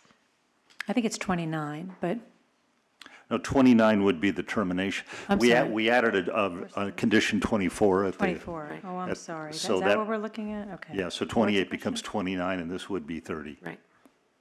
So does that make sense to you to add that verbiage that, Well- um, I'm questioning what, I mean, we have a delay now, and it's, we're waiting for the utility power to be restored, and. right, but there's a having gone through the- potential for further delay. So if there's that potential, which would be reported to the district, um, in some cases, they will tell you what the reasoning is for the delay. Um, Is it just their schedule, or is there something else? I think the district would want to know that. Well, I don't see any objection to notifying the district if the utility says to us, by the way, our schedule is off and we're gonna need two more weeks or something like that. Um, So, um, if we could say we, we will promptly notify the district if Southern California Edison notifies us of any significant delays what compared to looking for. previous dates they've given us. It makes the condition a little wordy, but I don't have an objection to adding that. I think that would be, um, I think the district would like to know that information. All right. Thank you. Uh, We don't, we don't object. The district doesn't object to the addition of the language. Do you want me to s- say that sentence again if I can? Yes, and we'll add it as a, as a last sentence to, to condition 30, proposed condition 30? Yes. Okay, please. So petitioner will, We like shall, so let's use shall. shall, okay. Petitioner shall notify the district promptly upon receiving notification from Southern California Edison of any significant delays in restoring power to the site compared to prior dates given by the utility to petitioner. Did you write that down? No, Okay, so we won't be able to repeat that again, huh? I can write it, I'll try to write it down. The clerk, the clerk got it. Yeah. If you have it, then we're, we're good. It's mostly for you.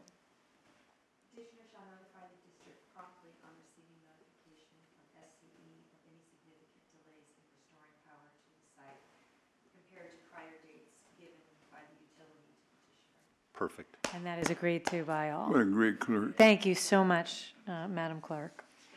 And we will, we will call, we will call upon you to read it into the record at the appropriate time. So with those two conditions, if they're acceptable to the board, I had one last request to make. And that has to do with excess emission fees. Uh, As the hearing board knows, Rule 303, which is a South Coast Air District rule, provides for certain fees to be paid to the hearing board in connection with the variance applications. There are filing fees, there are fees for hearing days, et cetera.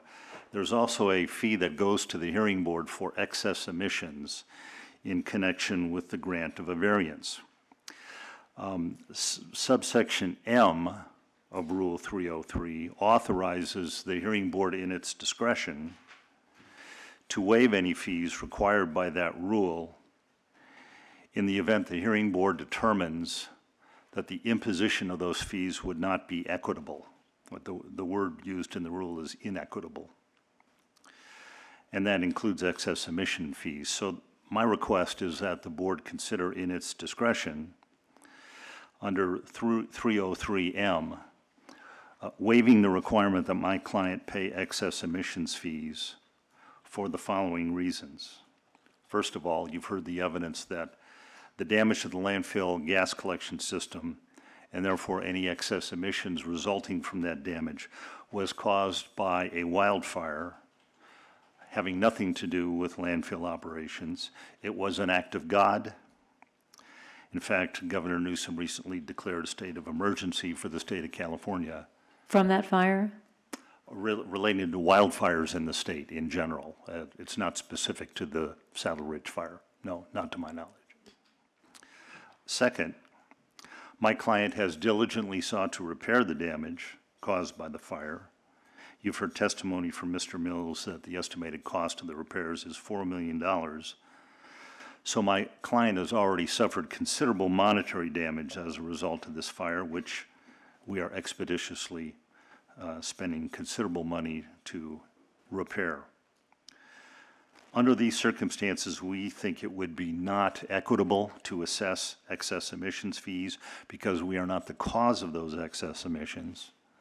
This is not a situation where we're asking you to give a variance so we can sell a product, uh, such as the variance hearing you heard the other day, where we're going to make money off of the grant of a variance by staying in operation. This is a closed site. It's been closed for over 20 years. So it's not a source of income to us. It's simply an asset that we need to handle and, uh, and to take care of for the public benefit and to reduce odors to the public as well. I think this variance is for the public good. It allows us to utilize the turn-down kit for flare number one to more expeditiously control gas caused by the fire damage, which you've heard uh, from Mr. Mills' testimony today, we are even ahead of schedule doing. So for those reasons, we'd ask your consideration and discretion to waive the excess emissions fees associated with this wildfire. And that's our request. Thank you. Thank you, Mr. Bruin, and we will take that up after the deliberation and uh, motion and uh, vote on the actual variance itself. Um, The reason why I asked about the state of emergency, I don't know, are you familiar with Rule 303P, waiver of fees, which states, "All fees associated with this rule shall be waived for any petition for a variance filed as the direct direct and proximate result of any event declared to be a quote state of emergency by local, state, or federal authorities. And so I'm wondering if you are, if you know the timing of the declaration of the state of emergency, or if it would include this fire. I believe that this provision would be um, possibly relevant. I downloaded that declaration yesterday, and I have it on my computer. Um, What I can tell you about the emergency declaration is it refers to all wildfires in the state and authorizes uh, forestry departments to accelerate uh, the removal of excess timber uh, without regard to various state regulations. Uh, The basis of the emergency declaration is the fact that the wildfires have occurred throughout the state and that that wildfire um, uh, episode, which has affected the state recently, uh, is uh, something that warrants a state of emergency. And the uh, proclamation of a state of emergency uh, talks about a historic wind event and fire conditions of an unprecedented nature in the state of California. Thank you very much. Um, Ms. Honeyzava, your closing, including whether you have any position on waiver fees, which I think generally the district doesn't have, but if you do. Uh, Since the excess emission fees are collected by the board, the district takes no position um, on waiver of those fees. Uh, So, good afternoon, Chairwoman Prussack and members of the board. Um, uh, Subject to the evidence and the testimony that we heard here today, as well as the evidence and the testimony that we heard at last week's interim variance hearing, Uh, And the proposed conditions with the changes that have been added throughout the course of this hearing, um, the district does not oppose the granting of a short variance. Thank you. Um, Board members, I think it's very important that we just begin our deliberation with a reframing of what we're hearing today, because we did ask a lot of questions to understand the context of what's happening. There's, uh, as we all know, um, some deep history with regard to the community that surrounds uh, this facility. Um, And so I think it's really important that we, we all start on the same page, uh, including the public who might be watching. Um, And the, uh, the issue before us uh, is a request for a short variance, so one that does not last for longer than 90 days, uh, from the rules and regulations of the district uh, from operating essentially a fully functioning landfill gas collection system due to a wildfire that caused, as we saw um, in the many pictures we were presented with in the interim variance uh, proceeding, in which we have now actually in physical form, uh, was quite severe, um, uh, burning away uh, actually a lot of the piping, et cetera, wellheads of the actual system itself. Um, and so I just wanted to make that clear, which is it's different from uh, order for abatement proceedings, um, which are uh, used to address odors uh, that rise to uh, a nuisance level, uh, which was what we were dealing with under the order for abatement. Um, and so uh, we received a lot of public comments. They are always welcome, and I want to make sure we address them. I know this, this community is suffering greatly, and so nothing I say will address them so that anyone feels relief, but I do want to make sure we address them. Um, there were some comments regarding uh, cl- the closing down of the landfill, and again, um, at least even for a certain period of time or for certain hours. Um, number one, that will not, uh, it, it's not something that will, uh, is a condition that will offset what we're, um, what we're doing here with the variant, and that is because landfill gas uh, is constantly being created at the landfill. And I know there were some comments about um, this is uh, this is a hazard. There's gas being created. There are wildfires, um, but unfortunately, this is not uh, land, the landfill gas creation is not something that will end for years to come. Um, I also wanted to re-point out the fact that while it is very concerning what's going on in the community uh, in terms of complaints and NOVs, um, this hearing, I want to read again from the Health and Safety Code, we can only address that which is being requested, which is there's a destroyed landfill gas collection system, and we need to make sure uh, that there's relief while they get it up and running. Um, and in, this is what the Health and Safety Code, section 42353 says. Upon making the specific findings, which we're going to undertake in a moment, set forth in section 42352 with regard to a variance, um, the hearing board shall prescribe requirements, which is what we're talking about in conditions, other than those imposed by statute or by any rule, regulation, or order of the district board, not more onerous, applicable to plants and equipment operated uh, by specified industry or business for the specified activities or to the operations of individual persons, et cetera. So I just want to be um, clear that while we can prescribe conditions that essentially um, stand in place of the rules that require a fully functioning collection system, so we've got uh, the requirements uh, that are proposed uh, that were in place for the interim variance with regard to uh, visual inspections, uh, observing, um, uh, taking readings, monitoring, um, trying to estimate uh, what excess emissions are, are, are coming, and of course, to try to get it fixed as soon, soon as quickly as as is possible and feasible, along with other conditions. Uh, It is not within the jurisdiction of this board to require that the, um, that the landfill delay its opening or shut down uh, in order to address odors. Um, And I, I, and again, I say that understanding that, uh, that this community is suffering greatly, and, uh, and and we understand that, and, and we definitely feel for that. And I also want to, uh, and again, uh, we're going to get into the findings, which we need to make.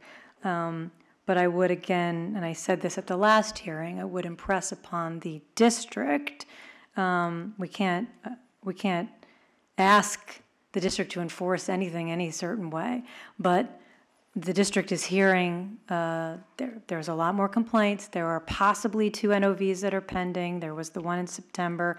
Um, Should the district take enforcement action through an order for abatement, at that time, the board could consider other measures to abate the odors that this community is suffering from.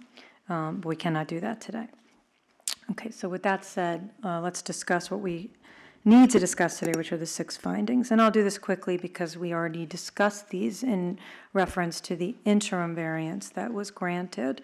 Um, We do know that the, uh, that the, I'm sorry, We have a discussion such one, you know, just have an open discussion before you address, it- address the six findings. yes, if you'd like to Yeah, add to those, yeah. yes, please. A couple of things. The public talked about in their correspondence, a likely explosion because the gas is there and things could happen, but there's no evidence introduced that would suggest that that's the likelihood. So there would be, you know, the public need to know that they're not concerned, they should be concerned about a subsequent explosion of gas permeating that, that area. Uh, Number two is that it was discussed that at some point in time, uh, the whole schedule could be delayed. And uh, if that being the case, we got uh, short variances for 90 days. And the target date we have set is January the 12th, 2020. Uh, It's also suggested that if you had some uh, opinion or belief, a subsequent opinion, that you might not make, you may have delays, then of course you have 30 days to make the request for a regular variance. If you have 30 days to make the request for regular variance, then at some point in time in December, you might have to do that just in case you have some delays after the 13th of December or the 12th of December. Uh, If you were to do that and make the request for a regular variance, then what would do, you can always, if you meet the requirements, satisfaction for operating condition prior thereto, then you don't have to have the hearing. What was that? They have to, is there 30 days required for regular variance? Uh, It actually would take 45 days from, from the filing for the clerks to uh, make sure that they're, pub- that the notice is published in, uh, uh, in uh, papers of, of the required circulation, et cetera. So it's about 45 days, but we would want to know as soon as possible. That's true. What if they, if some problems occur later on after December 13th or between nine and 45 days? Then the variance would end, and they would have no relief. Yeah, that's right. So maybe, I don't want to tell you what to do, but if you start counting back from January 13th, 45 days, you better think about taking some corrective action just in case that time frame. Thank you. Should, should we continue, or should we go to the six findings? Did you have? And then, of course, Oh, I'm sorry, uh, Senator. if the Edison come at some point, give you a date that they be in full operation, the power be restored, and then they come back later on, it's based on the, the new findings, that they cannot provide this power, then of course, does that affect the, the- the 12th of- of 2020 as well? For full operation? Um, whatever affects them, but uh, the generate, well, we have to talk about what the scope of the variance before we do that. But I think that, I think that uh, Browning Ferris is very well aware that, is that correct? That you, you need to file as soon as you know that you will not meet the timing of a short variance. Uh, Should we grant it? We haven't discussed it or voted. Yes, Mr. Balagopalan. I just wanted to add, I think the steps they've taken and ordering or redoing the phase, changing the phase from phase two to phase three, I mean, flip-flopping, you know, the- and I, I know they tackled the f- uh, low-hanging fruit for, for phase one, when phase, the original phase three was the more difficult one with the larger pipes, but it looks like they've done that, uh, or doing that in phase two, so I think that will sooner address uh, the, the more difficult one, because the welding, uh, it'll take longer and so forth. So I think the steps they're taking is uh, proactive in addressing the, in in correcting the damage uh, done by the fire, so that uh, while might not address specifically some of the other odor issues which are, which which we're not really in discussing here, Mr. Bruin indicated in passing that it was due to some construction activities and so forth. So, but since we don't have to deal with that, I, I think, uh, you know, uh, I think the steps they've taken and uh, the fact they are progressing quite uh, nicely, it's something to, uh, to take heart, you know, that I think this will be addressed and uh, hopefully be uh, completed in a uh, f- f- appropriate manner, uh, as expeditiously as possible. I didn't finish. Sorry, Senator, we- I had no Thank idea. you. The clock is ticking. From this day forward, for, you got to count 45 days. That'll be beyond January 12th. So at some point in time, uh, and you got to anticipate that may be a problem.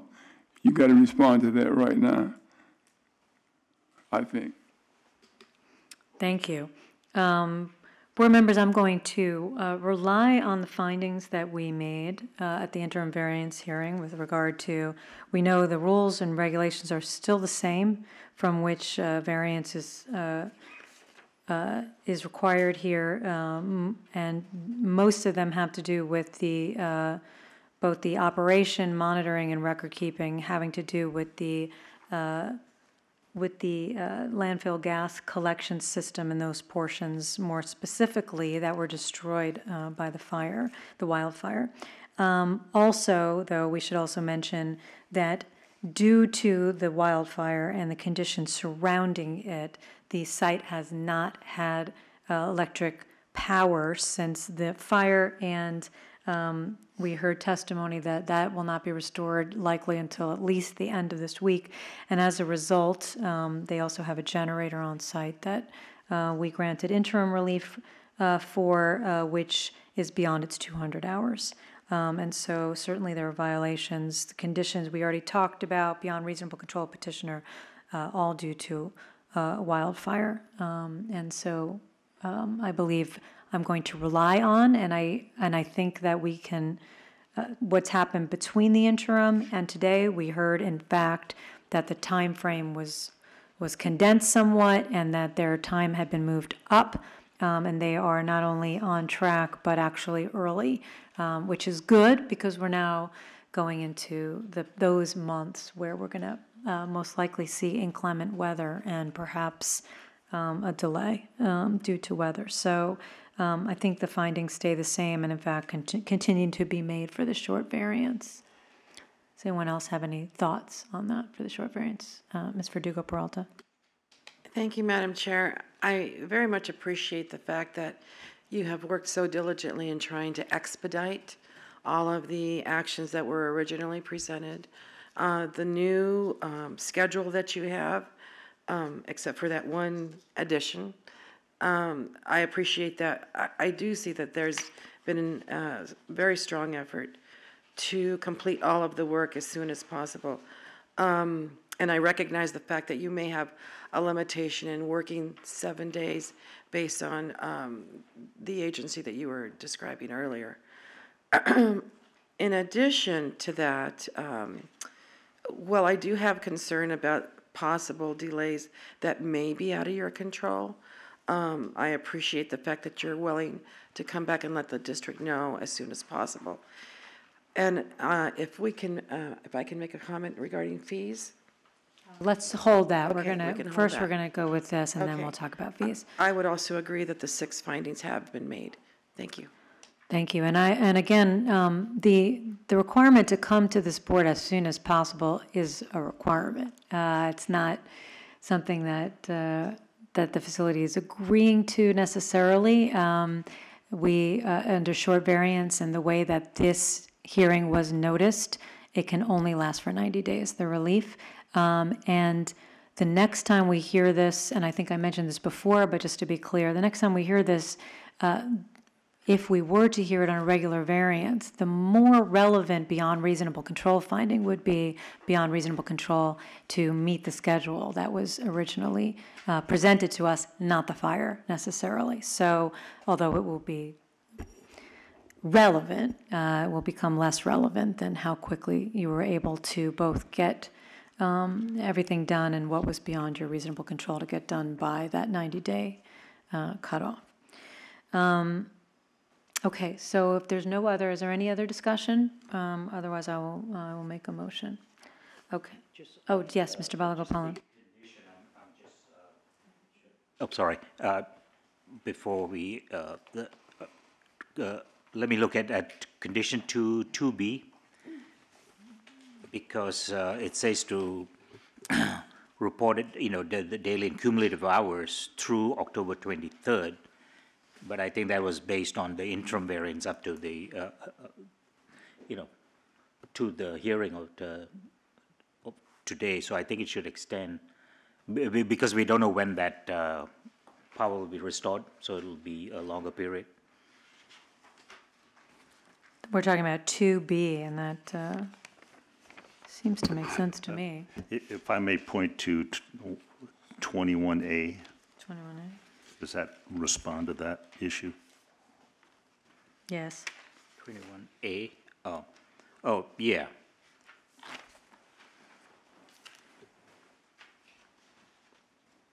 Yes, that, that will address, so it's not limited till the, the twenty-third.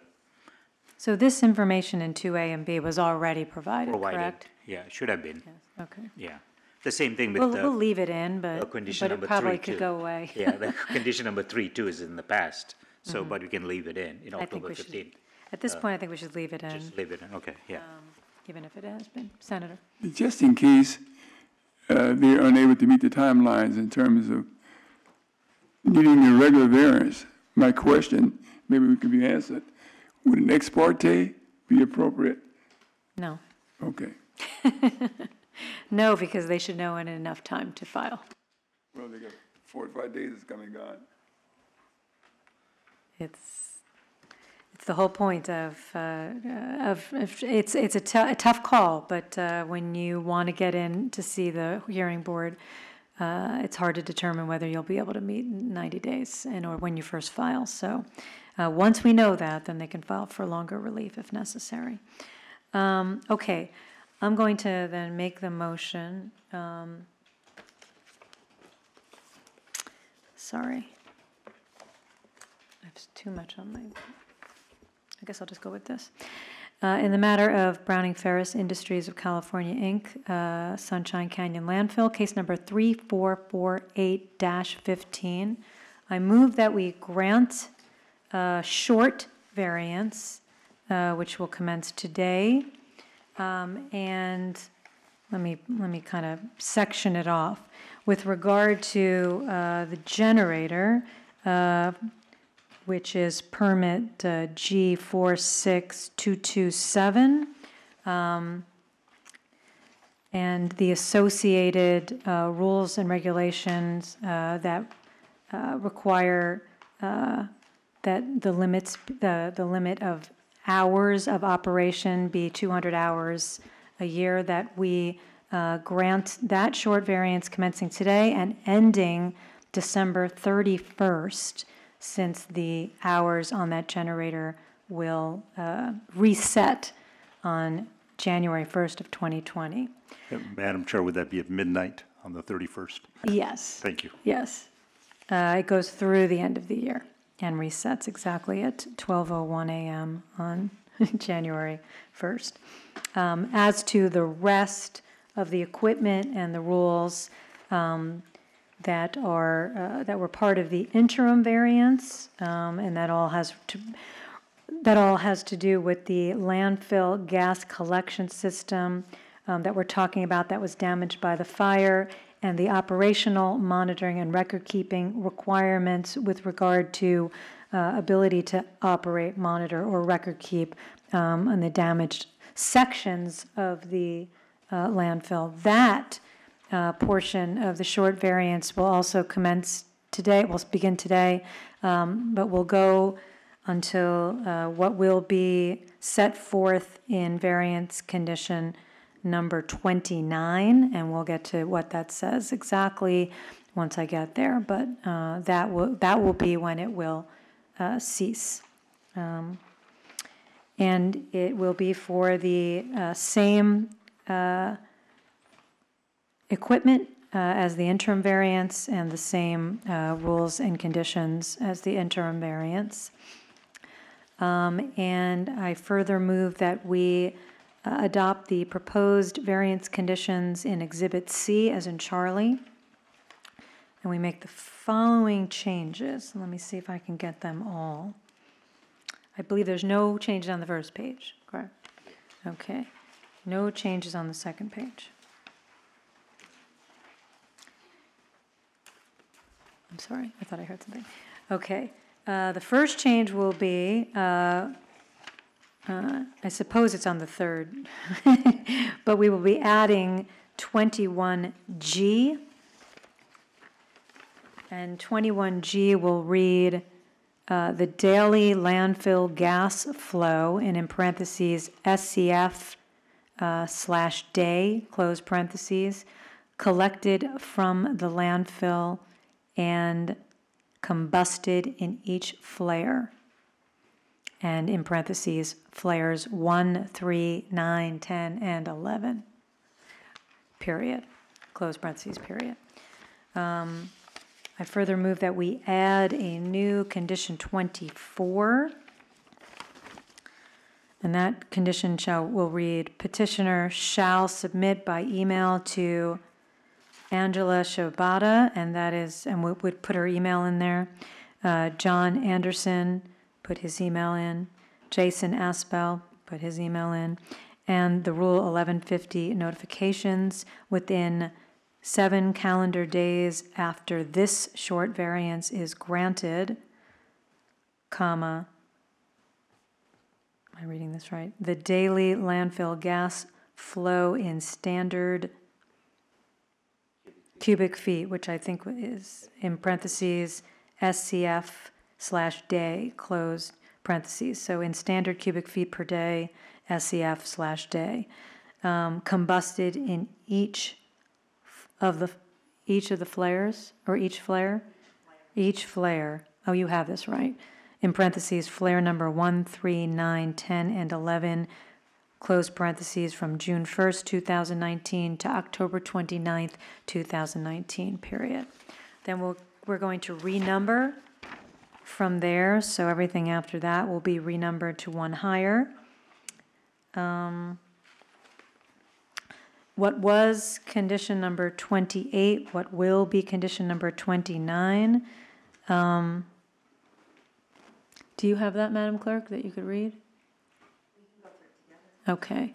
Um, This variance will terminate on the earlier of, A, petitioner notifying SCAQMD by email that operation of all equipment with utility power restored? Restored. Okay. Is there something else there For which this variance has been granted. For which this um, variance has been granted? And that's the end of that, or, No, it's, it has been fully restored and City South landfill well field restored to negative pressure. and you have that? Or. Or January 12th, 2019, whichever occurs first. january 12th Did I, what did I say? Sorry, January 12th, 2020, whichever occurs first. Thank you. Just on the email, should we clarify which, e- uh, the same email train? This, the same emails? Okay, yeah. Thank you for that. And then a new condition 30, uh, which will read, petitioner shall use its best efforts to facilitate Southern California Edison restoring utility power to the site to the site as soon as practicable and shall report via email, the same email addresses in that same list. Oh, t- via email to the SCAQ, to the SCAQMD, the same list, that such power has been restored. And then there was this last sentence, which I'll. You have it, right, that was the clerk that read it back. Can you read that back, just so it's on the record? Petitioner shall notify the district promptly on receiving notification from Southern California Edison of any significant delays in restoring power to the site compared to prior dates given by the utility to petitioner. Thank you very much, Madam Clerk. Um, I believe those are all the changes to the condition uh, that will be, to the conditions that will be included in the motion. Um, The excess emissions are to be determined, and I understand that there is a condition in here with regard to the payment of excess emission fees. We'll leave that in uh, pending the decision that we're going to make on the next motion with regard to a waiver of fees. And uh, the excess emissions are to be determined based upon the information that will be uh, received under the conditions of the variance. And that completes my motion. Uh, And Mr. Balagopalan seconds that motion. Is there any discussion on the motion? Senator? Uh, December 31st midnight, is that the end of the variance? That is only the end of the variance with regard, as is, as my motion is pending, uh, with regard to uh, the portion of the variance addressing the uh, generator uh, that has gone over the 200 hours. The, the, the remainder is addressed by condition 29. I see. Would that include the interim variance time as well? It does, it includes, uh, uh, number 29 re- is, has been written in such a way that January 12th of 2020 includes both the time under interim variance and ex parte variance Thank you. relief. Uh, Any other discussion on the motion? Seeing none. Senator, how do you vote? Dr. Bernstein, how do you vote? Aye. Ms. Verdugo Peralta, how do you vote? Aye. Mr. Balagopalan, you vote? Yes. I vote yes, motion passes 5-0. Thank you. Okay, next, uh, board members, we need to take up the request by uh, Mr. Bruin uh, and Browning Ferris to waive excess emission fees, and that, that's the only fees, is that correct? Correct. Okay. The excess emission fees. And the request was um, stated in terms of our uh, discretionary powers, uh, which is under 303M, as in Mary, uh, of uh, the district rules. And it essentially says that any person may allege that payment of any of the fees within this rule, excluding publication fees, will cause an unreasonable hardship or is otherwise inequitable. And Madam Chair, if I may amend my motion to include subsection P as well, given our discussion regarding the governor's declaration. Yes, you may, and uh, I was going to mention it. Okay. Uh, Ms. Verdugo Peralta, before we dis- have discussion, did you have a question on that It's before? not, thank you, Madam Chair. It's not that I had a question, it's that uh, I agree uh, with the uh, uh, petitioner, correct, petitioner? Yes, then then why why don't you begin the discussion then? Okay, that I did uh, also receive notification of that um, emergency situation that the governor had mentioned. Um, And I do fully agree with them. It was an act of God. It wasn't something that they caused, and therefore I would uh, vote towards waiving the fees. Thank you. Mr. Balagopalan? I, I'm inclined not to, but, uh, you know, but I think the declaration, if I understood previously, it was very specific when a certain area was burned. I think we have seen, you know, when there was the snow and it was specific to that area, Big Bear or, you know. So I think just because there's a state of emergency in the state of California, rightfully so, I don't know if it applies throughout, you know, for, eh, for this Saddle Ridge uh, fire also, you know. So I'm less, think, uh, you know, I think the emission, excess emission fees need to be calculated properly, and we need to quantify it and know exactly, you know, what, how much has been emitted and pay the fee. I don't think it will impose that much of hardship compared to the $4 million they're spending in uh, repairing this, so, um, Can you, can you address, um, the, the, the argument was not uh, hardship, it was otherwise inequitable. Yeah, yeah, I don't see the inequity in it, you know, I, I, the only thing I can see is maybe d- because of the, uh, emergency declaration, but I don't think, unless there was a specific declaration on the Saddle Ridge fire, you know, then I can say yes, you know. But if it was a general governors for the, you know, all the fires that are going on in the, uh, I, I don't know how that emergency was, uh, declared by the, uh, the governor, you know, whether it's, and whether it has to be specific to this particular area or fire, you know, that's a, the state, yeah. I think that's up to us to determine, because I'll read it again. All fees associated with this rule shall, and again, there is no uh, discretion, although I, I understand, Mr. Balagopalan, what you're saying, uh, but there's no discretion once we determine that it, that it is, but shall be waived for any petition for a variance filed as the direct and proximate result of any event declared to be a state of emergency by local, state, or federal authorities.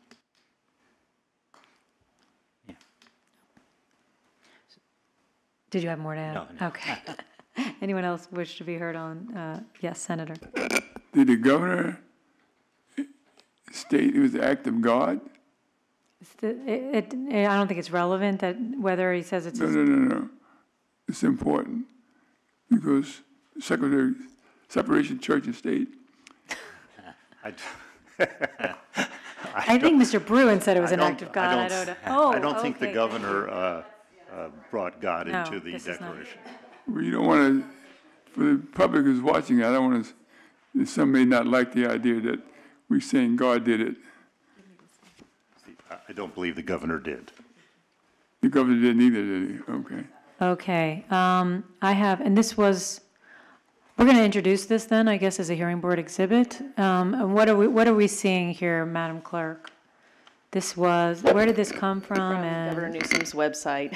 What- This sorry. other one that, it was a, th- these are for the subsequent fires that have occurred, but that one was, I believe, issued on October 11th for specifically Saddle Ridge. and this was from the, uh, from the website, state website? Yes, Governor Newsom's website. his Governor, newsroom. okay. All of them are posted. It just doesn't allow you to print it in the fancy uh, proclamation format like this other one did, but. uh, Okay. It's posted Then- there. Then we're gonna, uh, we'll, we- we can put this in the record, um, and we'll have it as, uh, hearing board exhibit HB one. Um, and I'll just read from it. It specifically says, whereas on October tenth, two thousand nineteen, the Saddle Ridge Fire began burning in Los Angeles County. Um, and there's many, many others, but, uh, uh, but it's a proclamation of state of emergency. Uh, so it is specific. Okay, yeah, if But I- it's I'm glad we- we then put yeah, that in. Yeah, okay. Okay. The, the only thing I was going to say is even though they've waived the fee, I think they still need, I, I'm assuming they'll still report the emissions Yes. associated with it. That is you know. part of the uh, conditions of the, uh, of the variance we just Yeah. uh, moved and seconded and voted on. Um, So let's be very clear. So I'm just going to, I think there's no more discussion then. I think we'll just make a motion because we don't have any discretion. So I move, uh, we don't, because again, all fees associated with this rule shall be waived, shall be, for any petition for variance filed as the direct and, direct and proximate result of any event declared to be a state of emergency by local, state, or federal authorities. And hear, hearing board exhibit number one is the proclamation of state of emergency that specifically includes the Saddle Ridge fire and predates, um, the variance. Uh, and we just ruled that the beyond reasonable control was based on the fact that the variance is required as a result of the Saddle Ridge fire. Um, So in the matter of uh, Browning Ferris Industries of California, Inc., Sunshine Canyon Landfill, case number 3448-15. I move that we uh, grant the request to waive all excess emission fees based on uh, District Rule 303P, which requires such a waiver for any event, for the proximate result of any event declared to be a state of emergency. And we're basing that on Hearing Board Exhibit 1, HB 1. Is there a second? Second. Okay, Mr. Balagopalan will second that. uh, And any discussion on that? Ms. Verdugo Peralta, do you have a discussion? Okay. Um, Except I will discuss as we, as, as uh, Mr. Balagopalan, you just pointed out, excess emissions are very important to quantify. um, And so those provisions of the short variance still remain in effect, even though fees will not be due and owing. Um, Okay, uh, Senator, how do you vote? on the waiver of the fees? Aye. Dr. Bernstein, how do you vote? Yes. Ms. Verdugo Peralta, how do you vote? Aye. And Mr. Balagopalan votes. Yes. I vote yes. Motion passes 5-0. Thank you very much, and thank you, uh, Madam Clerk, for all of your assistance today in this hearing. Thank you very much. Okay, um, board members, any other business? Our business? clerks are the best. That is correct. They work very hard and they are short-staffed and they are getting a lot from members of the public and the district's office and uh, also from petitioners. So we thank you very much. District should recognize that. We are, yes, I think they do. I see Ms. Zalver on behalf of the district waving her head up and down. Uh, But any other business? Seeing none, we are adjourned. Thank you all.